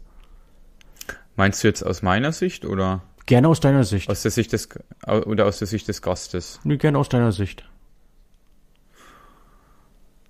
Also für mich sind, also ich habe so ein, ein schrecklichstes Sommelier-Erlebnis habe ich eigentlich nicht, muss ich sagen. Ja. Oder vielleicht auch noch nicht. ähm, ähm, aber ich finde das schon immer grandios, wenn du, wenn du dankbare Gäste hast, die sich halt doppelt und dreifach äh, bedanken, wo man Mhm. sich denkt, ja, okay, ich habe dir ja eigentlich nur eine Flasche Wein aufgemacht, überspitzt gesagt, Mhm. aber die dann auch irgendwie ähm, für einen selber ähm, dann Flaschen aufmachen. Mhm. Ähm, also das, da habe ich schon grandiose Erlebnisse gehabt und habe auch vielen Leuten ganz viel zu verdanken, ähm, die auch mal gesagt haben, ja, komm mal bei uns daheim vorbei und dann machen wir mal was auf, so ungefähr. Mhm. Und dann reißen die da für einen die Flaschen auf, wo man sich denkt, ja, das müsste ja alles gar nicht sein. Also das finde ich, äh, macht den Beruf eigentlich auch so schön, dass du diese Dankbarkeit ganz viel hast von, von vielen Gästen, ne? Was sehr bereichernd ist, ja. Dass man Ja. das auch, Und das auch gibt einem live, viel, oder? Live erleben kann. Also live, ähm, dass man in der Situation mit drin ist. Wenn du jetzt einen anderen Beruf hast, ein Dienstleister bist, sind die Leute ja meistens dann glücklich, wenn du sie nicht mehr siehst oder dann zufrieden oder Ja. dann dankbar. Und wir haben das ja wie so ein Künstler auf der Bühne, kriegen wir direkt Applaus und das trägt sich dann über viele, nicht nur Tage oder Wochen, sondern Jahre oftmals. Wenn man die Leute mal wieder sie- sieht, dass sie von dem Erlebnis damals berichten und da einfach ergriffen sind, das berührt mich auch immer sehr und ganz besonders. Ja. Was wärst du für ein Wein, wenn du ein Wein wärst? Oh, Gott, gute Frage. Also irgendwann wäre ich vielleicht gern mal ein großer Barolo, Mhm. aber ich habe ja auch noch ein paar Jahre vor, vor mir. Ähm, Ja, vielleicht tatsächlich irgendwie Gamay aus dem Beaujolais, ja. weil es ja auch von bis geht. Also gibt ja, gibt ja Gamays, die, sage ich mal, sehr trinkig, sehr unkompliziert, sehr easygoing sind. Aber gibt ja auch welche, die dann sehr komplex sind. Hm. Also vielleicht Gamay. Ja. Gibt es für dich eine Entwicklung in der Weinwelt, in der Weinszene, die dich gerade sehr begeistert? Hm, ja, einige. Ähm, wobei ich sagen muss, was so in der Pfalz gerade passiert oder schon seit mhm. ein paar Jahren ja passiert, finde ich schon sehr, sehr äh, verrückt oder äh, finde ich Wahnsinn, was also ein, ein Säckinger, ein Scheuermann, ein anderes, ein, ein mhm. Leiner, äh, auch, auch die Ringsbrüder. Mhm. Also das, das ist ja eine Speerspitze, das kannst du neben die großen Weine der Welt stellen, ne? Mhm und auch mit was für einer Dynamik und wenn du da bist in der Pfalz, wie die das einfach leben und der Zusammenhalt da zwischen den Jungen, ähm, das finde ich schon, äh, finde ich schon sehr, sehr krass. Also, ist aber auch schon eine ja. neue Generation, oder?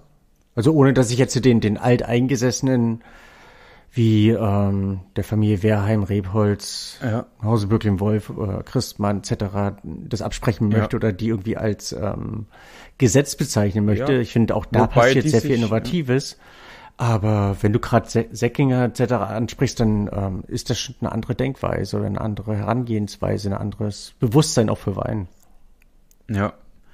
Ja, wobei, man muss schon auch dazu sagen, ich finde es schon auch echt verrückt, ne? Äh, ein Weingut wie Christmann, hm. was die da aus dem Pinot Noir jetzt rausholen, ne? Irre. Wahnsinn. Ja. Oder auch das ganze Sektprojekt mit Mathieu Kaufmann zusammen. Ja. Ähm, da passiert schon unheimlich viel. Sich Aber neu ja, zu auch, erfinden, ja, ja. und äh, ja. nochmal neue Wege zu gehen, dann eben auch einen neuen eigenen Weg auch für, für die Sophie dort zu finden mit dem Rotwein, wie, wie sie das ja. interpretiert. Also großartig, bin ich sehr, sehr gerührt. Aber eben auch, weil wir es gerade angesprochen haben, dieser Generationswechsel, der schier unmöglich schien, aber so wunderbar bei Rebholz oder Wehrheim ergriffen wurde und weitergeführt ja. wurde, was ja auch ganz viel mit Verantwortung zu tun hat. Weil ich glaube, man kann eine Sache immer neu erfinden und neu definieren, dass das manchmal einfacher ist, als so einen Weg weiterzuführen. Ja, sehe ich fast auch so. Hm. Ja, einfach diese Beständigkeit bei den Weingütern. Mhm. Ähm, oder ob es auch Bücklin Wolf ist, ne, das ist einfach so zeitlos. Also es ist, es sind ja mit die größten Weine, die jedes Jahr hier vorkommen.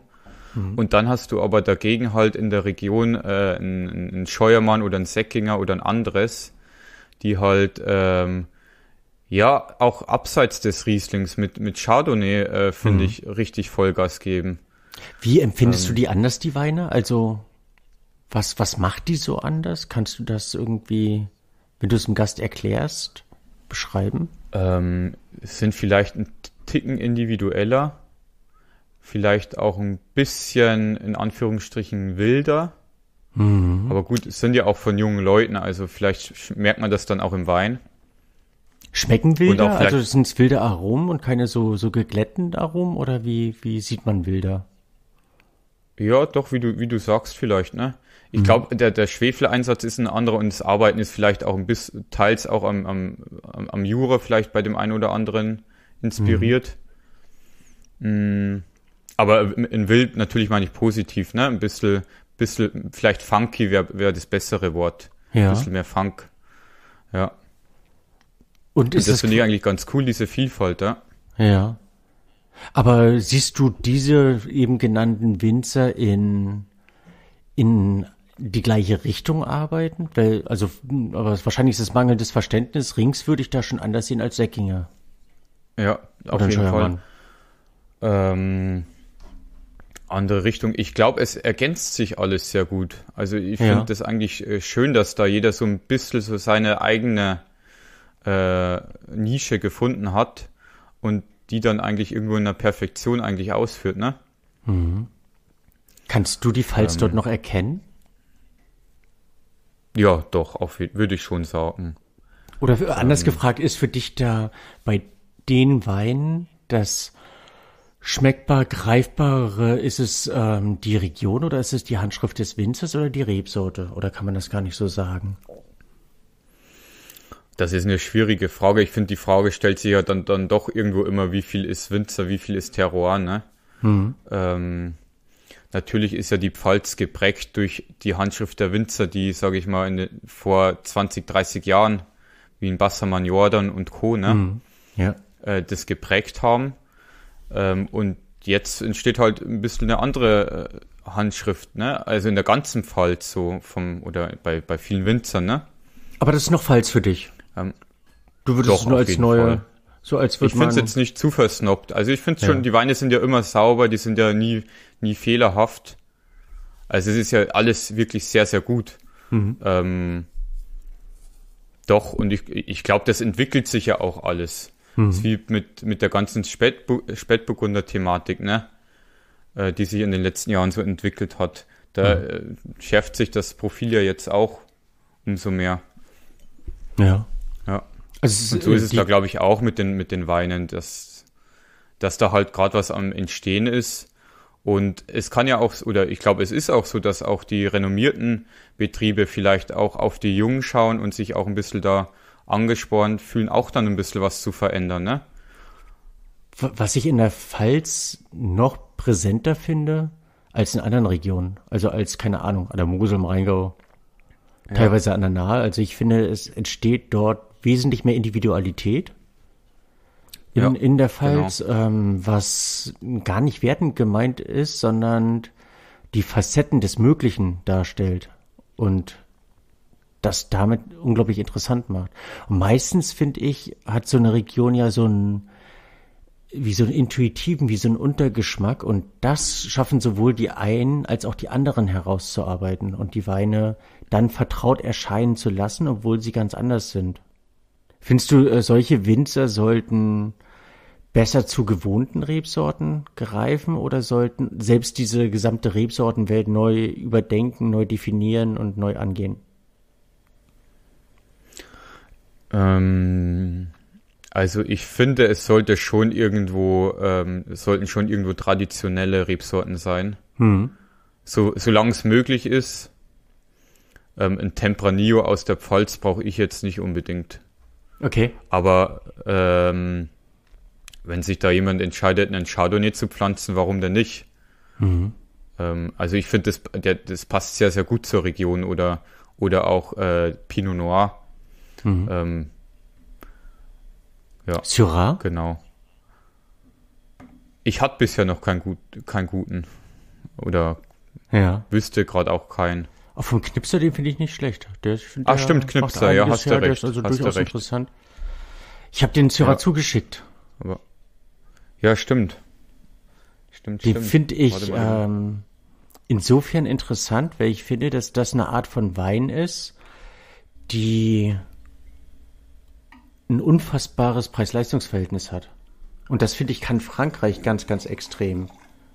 Also Weine zu produzieren, die eine Klasse in sich selber haben und ähm, trotz allem schon eigentlich günstig für, für die ja, Qualität sind. Definitiv. Ich finde, du kannst in Frankreich halt, wenn du ein bisschen links und rechts schaust, neben den großen Namen wirklich richtige Preis-Leistungsknaller finden auch, ne? Sogar auch noch im Burgund. Ja. ja. ja. auch im Burgund, was eben immer als, als äh, teuer gescholten wird, aber ähm, man braucht aus der Region rausgehen und unbekanntere Produzenten teilweise probieren oder neue Projekte und da ist das dann ähm, teilweise spannend, was man dort entdeckt, auch in Bordeaux. Finde ich, ähm, aufgrund natürlich ja, auch der, der verrückt, ne? Größe ne? des Gebietes, findest du Weine für 20 Euro, die, die absolut teilweise außer, sehr außergewöhnlich sind an der Loire, finde ich das total spannend, auch wie wenig eigentlich große Weine, richtig große Weine dann teilweise kosten oder eben auch, und das finde ich extrem im Rhonetal. Also ich finde das Rhonetal teilweise so fast unverschämt günstig, selbst im einfacheren ja. Bereich, aber eben auch wenn du in die in die äh, Appellation reingehst, und wir haben jetzt ein Cross Hermitage, also eigentlich äh, mhm. Syrah par excellence. Und natürlich muss man sagen, das Gebiet ist ja nicht klein. Ich glaube, 3000 Hektar hat das. Da ist natürlich nicht alles irgendwie Gold, was glänzt.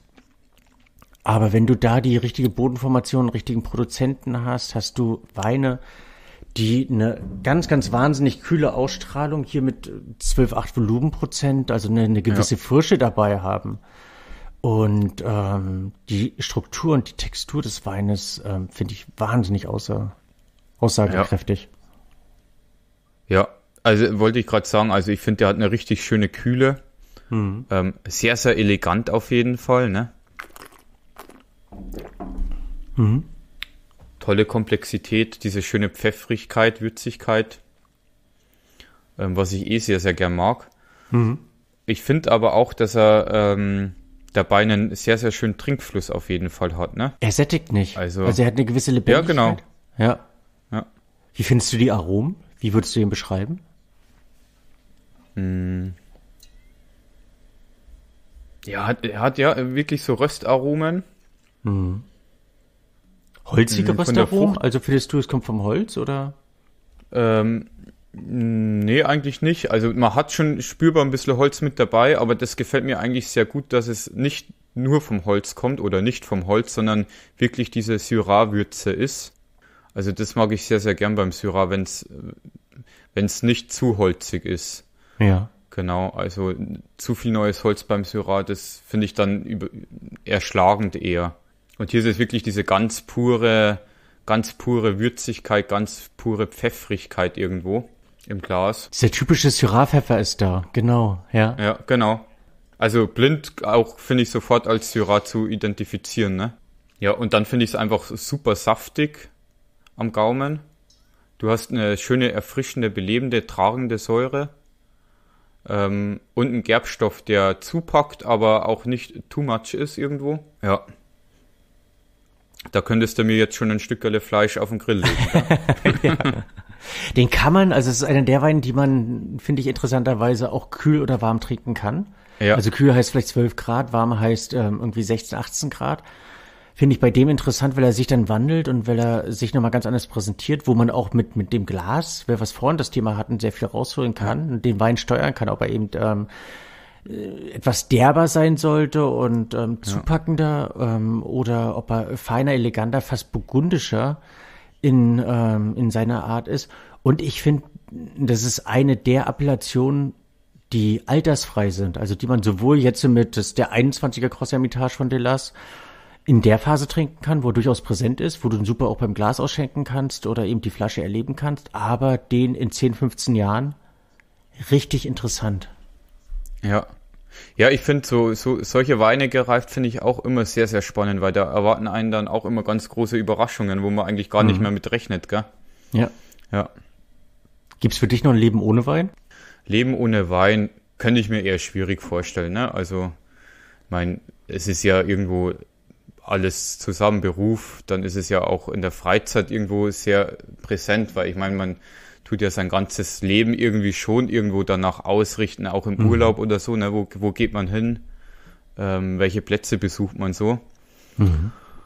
Ähm, deswegen, gut, wenn es der Wein nicht wäre, gut, dann könnte man sich was anderes vielleicht suchen in der Form, ob es dann Tee ist oder so, ne? Mhm. Aber ich finde, jetzt Wein ist schon konkurrenzlos in der Form. Mhm. Und ich finde, es gehört dann irgendwie, es ist, es ist was anderes, finde ich, ob du mit vier Leuten am Tisch sitzt und isst was und hast kein Wein dabei oder es gibt Wein dazu. Es ist einfach ja. anders. Es ist kommunikativer, finde ich. Du redest auch anders. Ja. Und das ist noch nicht mal der Alkohol, weil wenn, wenn ich es jetzt, also vielleicht ist meine Empfindung, aber mit Bier vergleiche, ja. wenn Bier am Tisch ist und du isst was, ist eine andere, eine andere Redseligkeit, als wenn du Wein hast. Wein wirkt beflügelnder ja, so. und leichtfüßiger und ja. äh, Wein macht lieb. Genau, das, das ist eine, ja, das wenn, ist eine schöne Aussage, ja. Auf, auf der Prowein hat sich noch keiner gekloppt. Also ich habe es noch nicht mitbekommen, aber wenn du irgendwo im Bierzelt bist ja. und die Leute äh, trinken Bier, dann irgendwann werden sie aggressiv oder im ja. Stadion oder wie auch immer, ne? Ja. Das hätte ich bei Wein eigentlich noch nie so beobachtet, auch irgendwo mal auf dem Weinfest oder so. Da, da hast du eigentlich keine aggressiven Leute, sondern keine. Wein verbindet, oder? Und auch über, über Sprachen hinweg, wenn du in, in Frankreich bist oder in Italien oder Portugal und die Leute merken, du bist weinaffin, dann kommst du ins Gespräch und äh, unterhältst dich darüber, ne? Das ist, ist schon so. Ist eine andere auch dann Kompromissbereitschaft bei der Sprache, also wo man dann anders auf einen eingeht und versucht noch anders mit äh, Gestiken oder mit Umschreibungen den anderen einzuholen und abzuholen. Und ja, wenn, wenn jemand Wein am Tisch stehen hat und am Nebentisch steht Wein, kommt man viel schneller und leichter ins Gespräch als vielleicht bei Biertrinkern oder was auch immer. Ich will jetzt nicht Biertrinker bashen. Aber da sagt nee, nee, gar nicht, aber- ähm, wenn man sich über dieses Medium einfach austauschen kann Ja. und seine eigene Empfindungswelt dann mitteilen kann. Ja, krass, stimmt. Ja. Wein macht lieb. Ja. Übrigens, Gedanke. der, der Großermitage äh, entwickelt sich gerade äh, toll im Glas, muss ich sagen, gell? Hm? Hast also du ihn gerade erst so aufgemacht bisschen gehabt, diese- oder? Nee, ich hatte ihn vorhin schon aufgemacht, aber gerade eben erst ins Glas gegeben. Ja. Und ich finde, im Glas dann ist auch immer natürlich nochmal eine andere Entwicklung, ne? Und jetzt kriegt er so ein bisschen dieses Olivige, eher so eine grüne Olive. Mhm. Und ja, super, ja. Hast du selber noch Ziele und Wünsche? Ja, also klar hat man noch so ein paar Ziele. Wobei ich muss sagen, ich bin eigentlich gerade sehr, sehr happy Schön. ähm, mit Arbeitgeber, mit Arbeitsplatz, mit Gästen, mit, äh, mit der Insel. Gut, Insel ist immer so ein bisschen Hassliebe, ne? Äh, man liebt sie, aber äh, wenn man dann, sage ich mal, von der Insel runter möchte ja. oder zurück, dann, dann das ist manchmal sehr, sehr Das ist anstrengend. Aufwand. oder- Ja. ja. Aber ähm, Ziele, ja doch, nochmal die ein oder andere be berufliche Herausforderung mal in den kommenden Jahren darf es schon nochmal geben. Also ich sehe mich jetzt irgendwie noch nicht im Handel, weil es der Klassiker ja wäre dann, ne? Irgendwann. ja, das sehe ich mir jetzt nicht. Also ich sehe mich schon noch äh, an der Front, wenn man das so sagen darf. Ja. Und ja. Mal vielleicht, vielleicht auch nochmal ein Gourmet-Restaurant. Mal gucken. Aber gerade so das Konzept äh, äh, sagt mir sehr gut zu und ähm, das passt ganz gut, doch.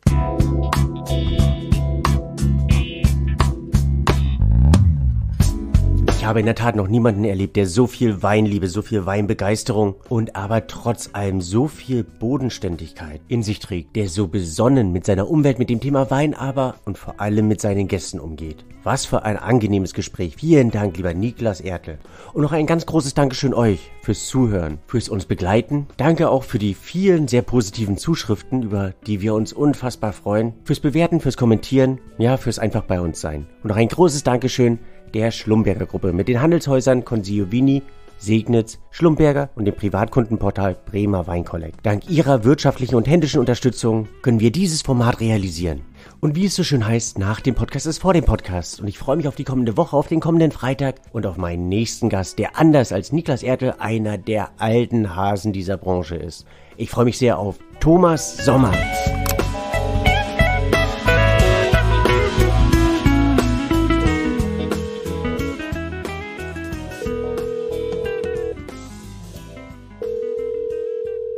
Ich bin Marcel Mühlberger von der Freiheit Vinothek in Ulm, Weinimporteur, Besitzer einer Weinbar und vor allem Weinliebhaber.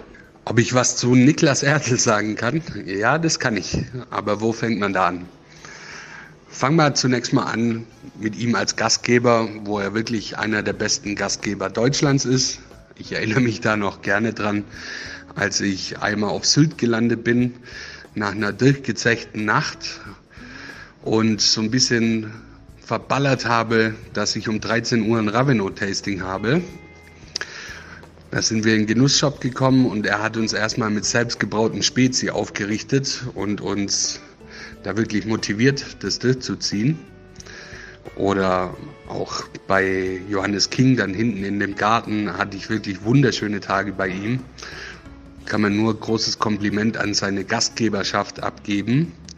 Und dann kommen wir zu seinem Weingeschmack. Was ich am Niklas ganz besonders schätze, ist ja, dass er nicht nur ein Laptop-Som ist, sondern auch schon in Weingütern gewirkt hat, sehr offen ist, gerne auch Neues probiert, aber immer kompromisslos zur Qualität steht. Also da kann das Label noch so groß sein, wenn der Wein nicht liefert, dann wird es auch benannt, ohne da irgendwie einen auf Schickimicki zu machen. Das zeichnet für mich den Niklas aus und dafür respektiere ich ihn ganz, ganz arg.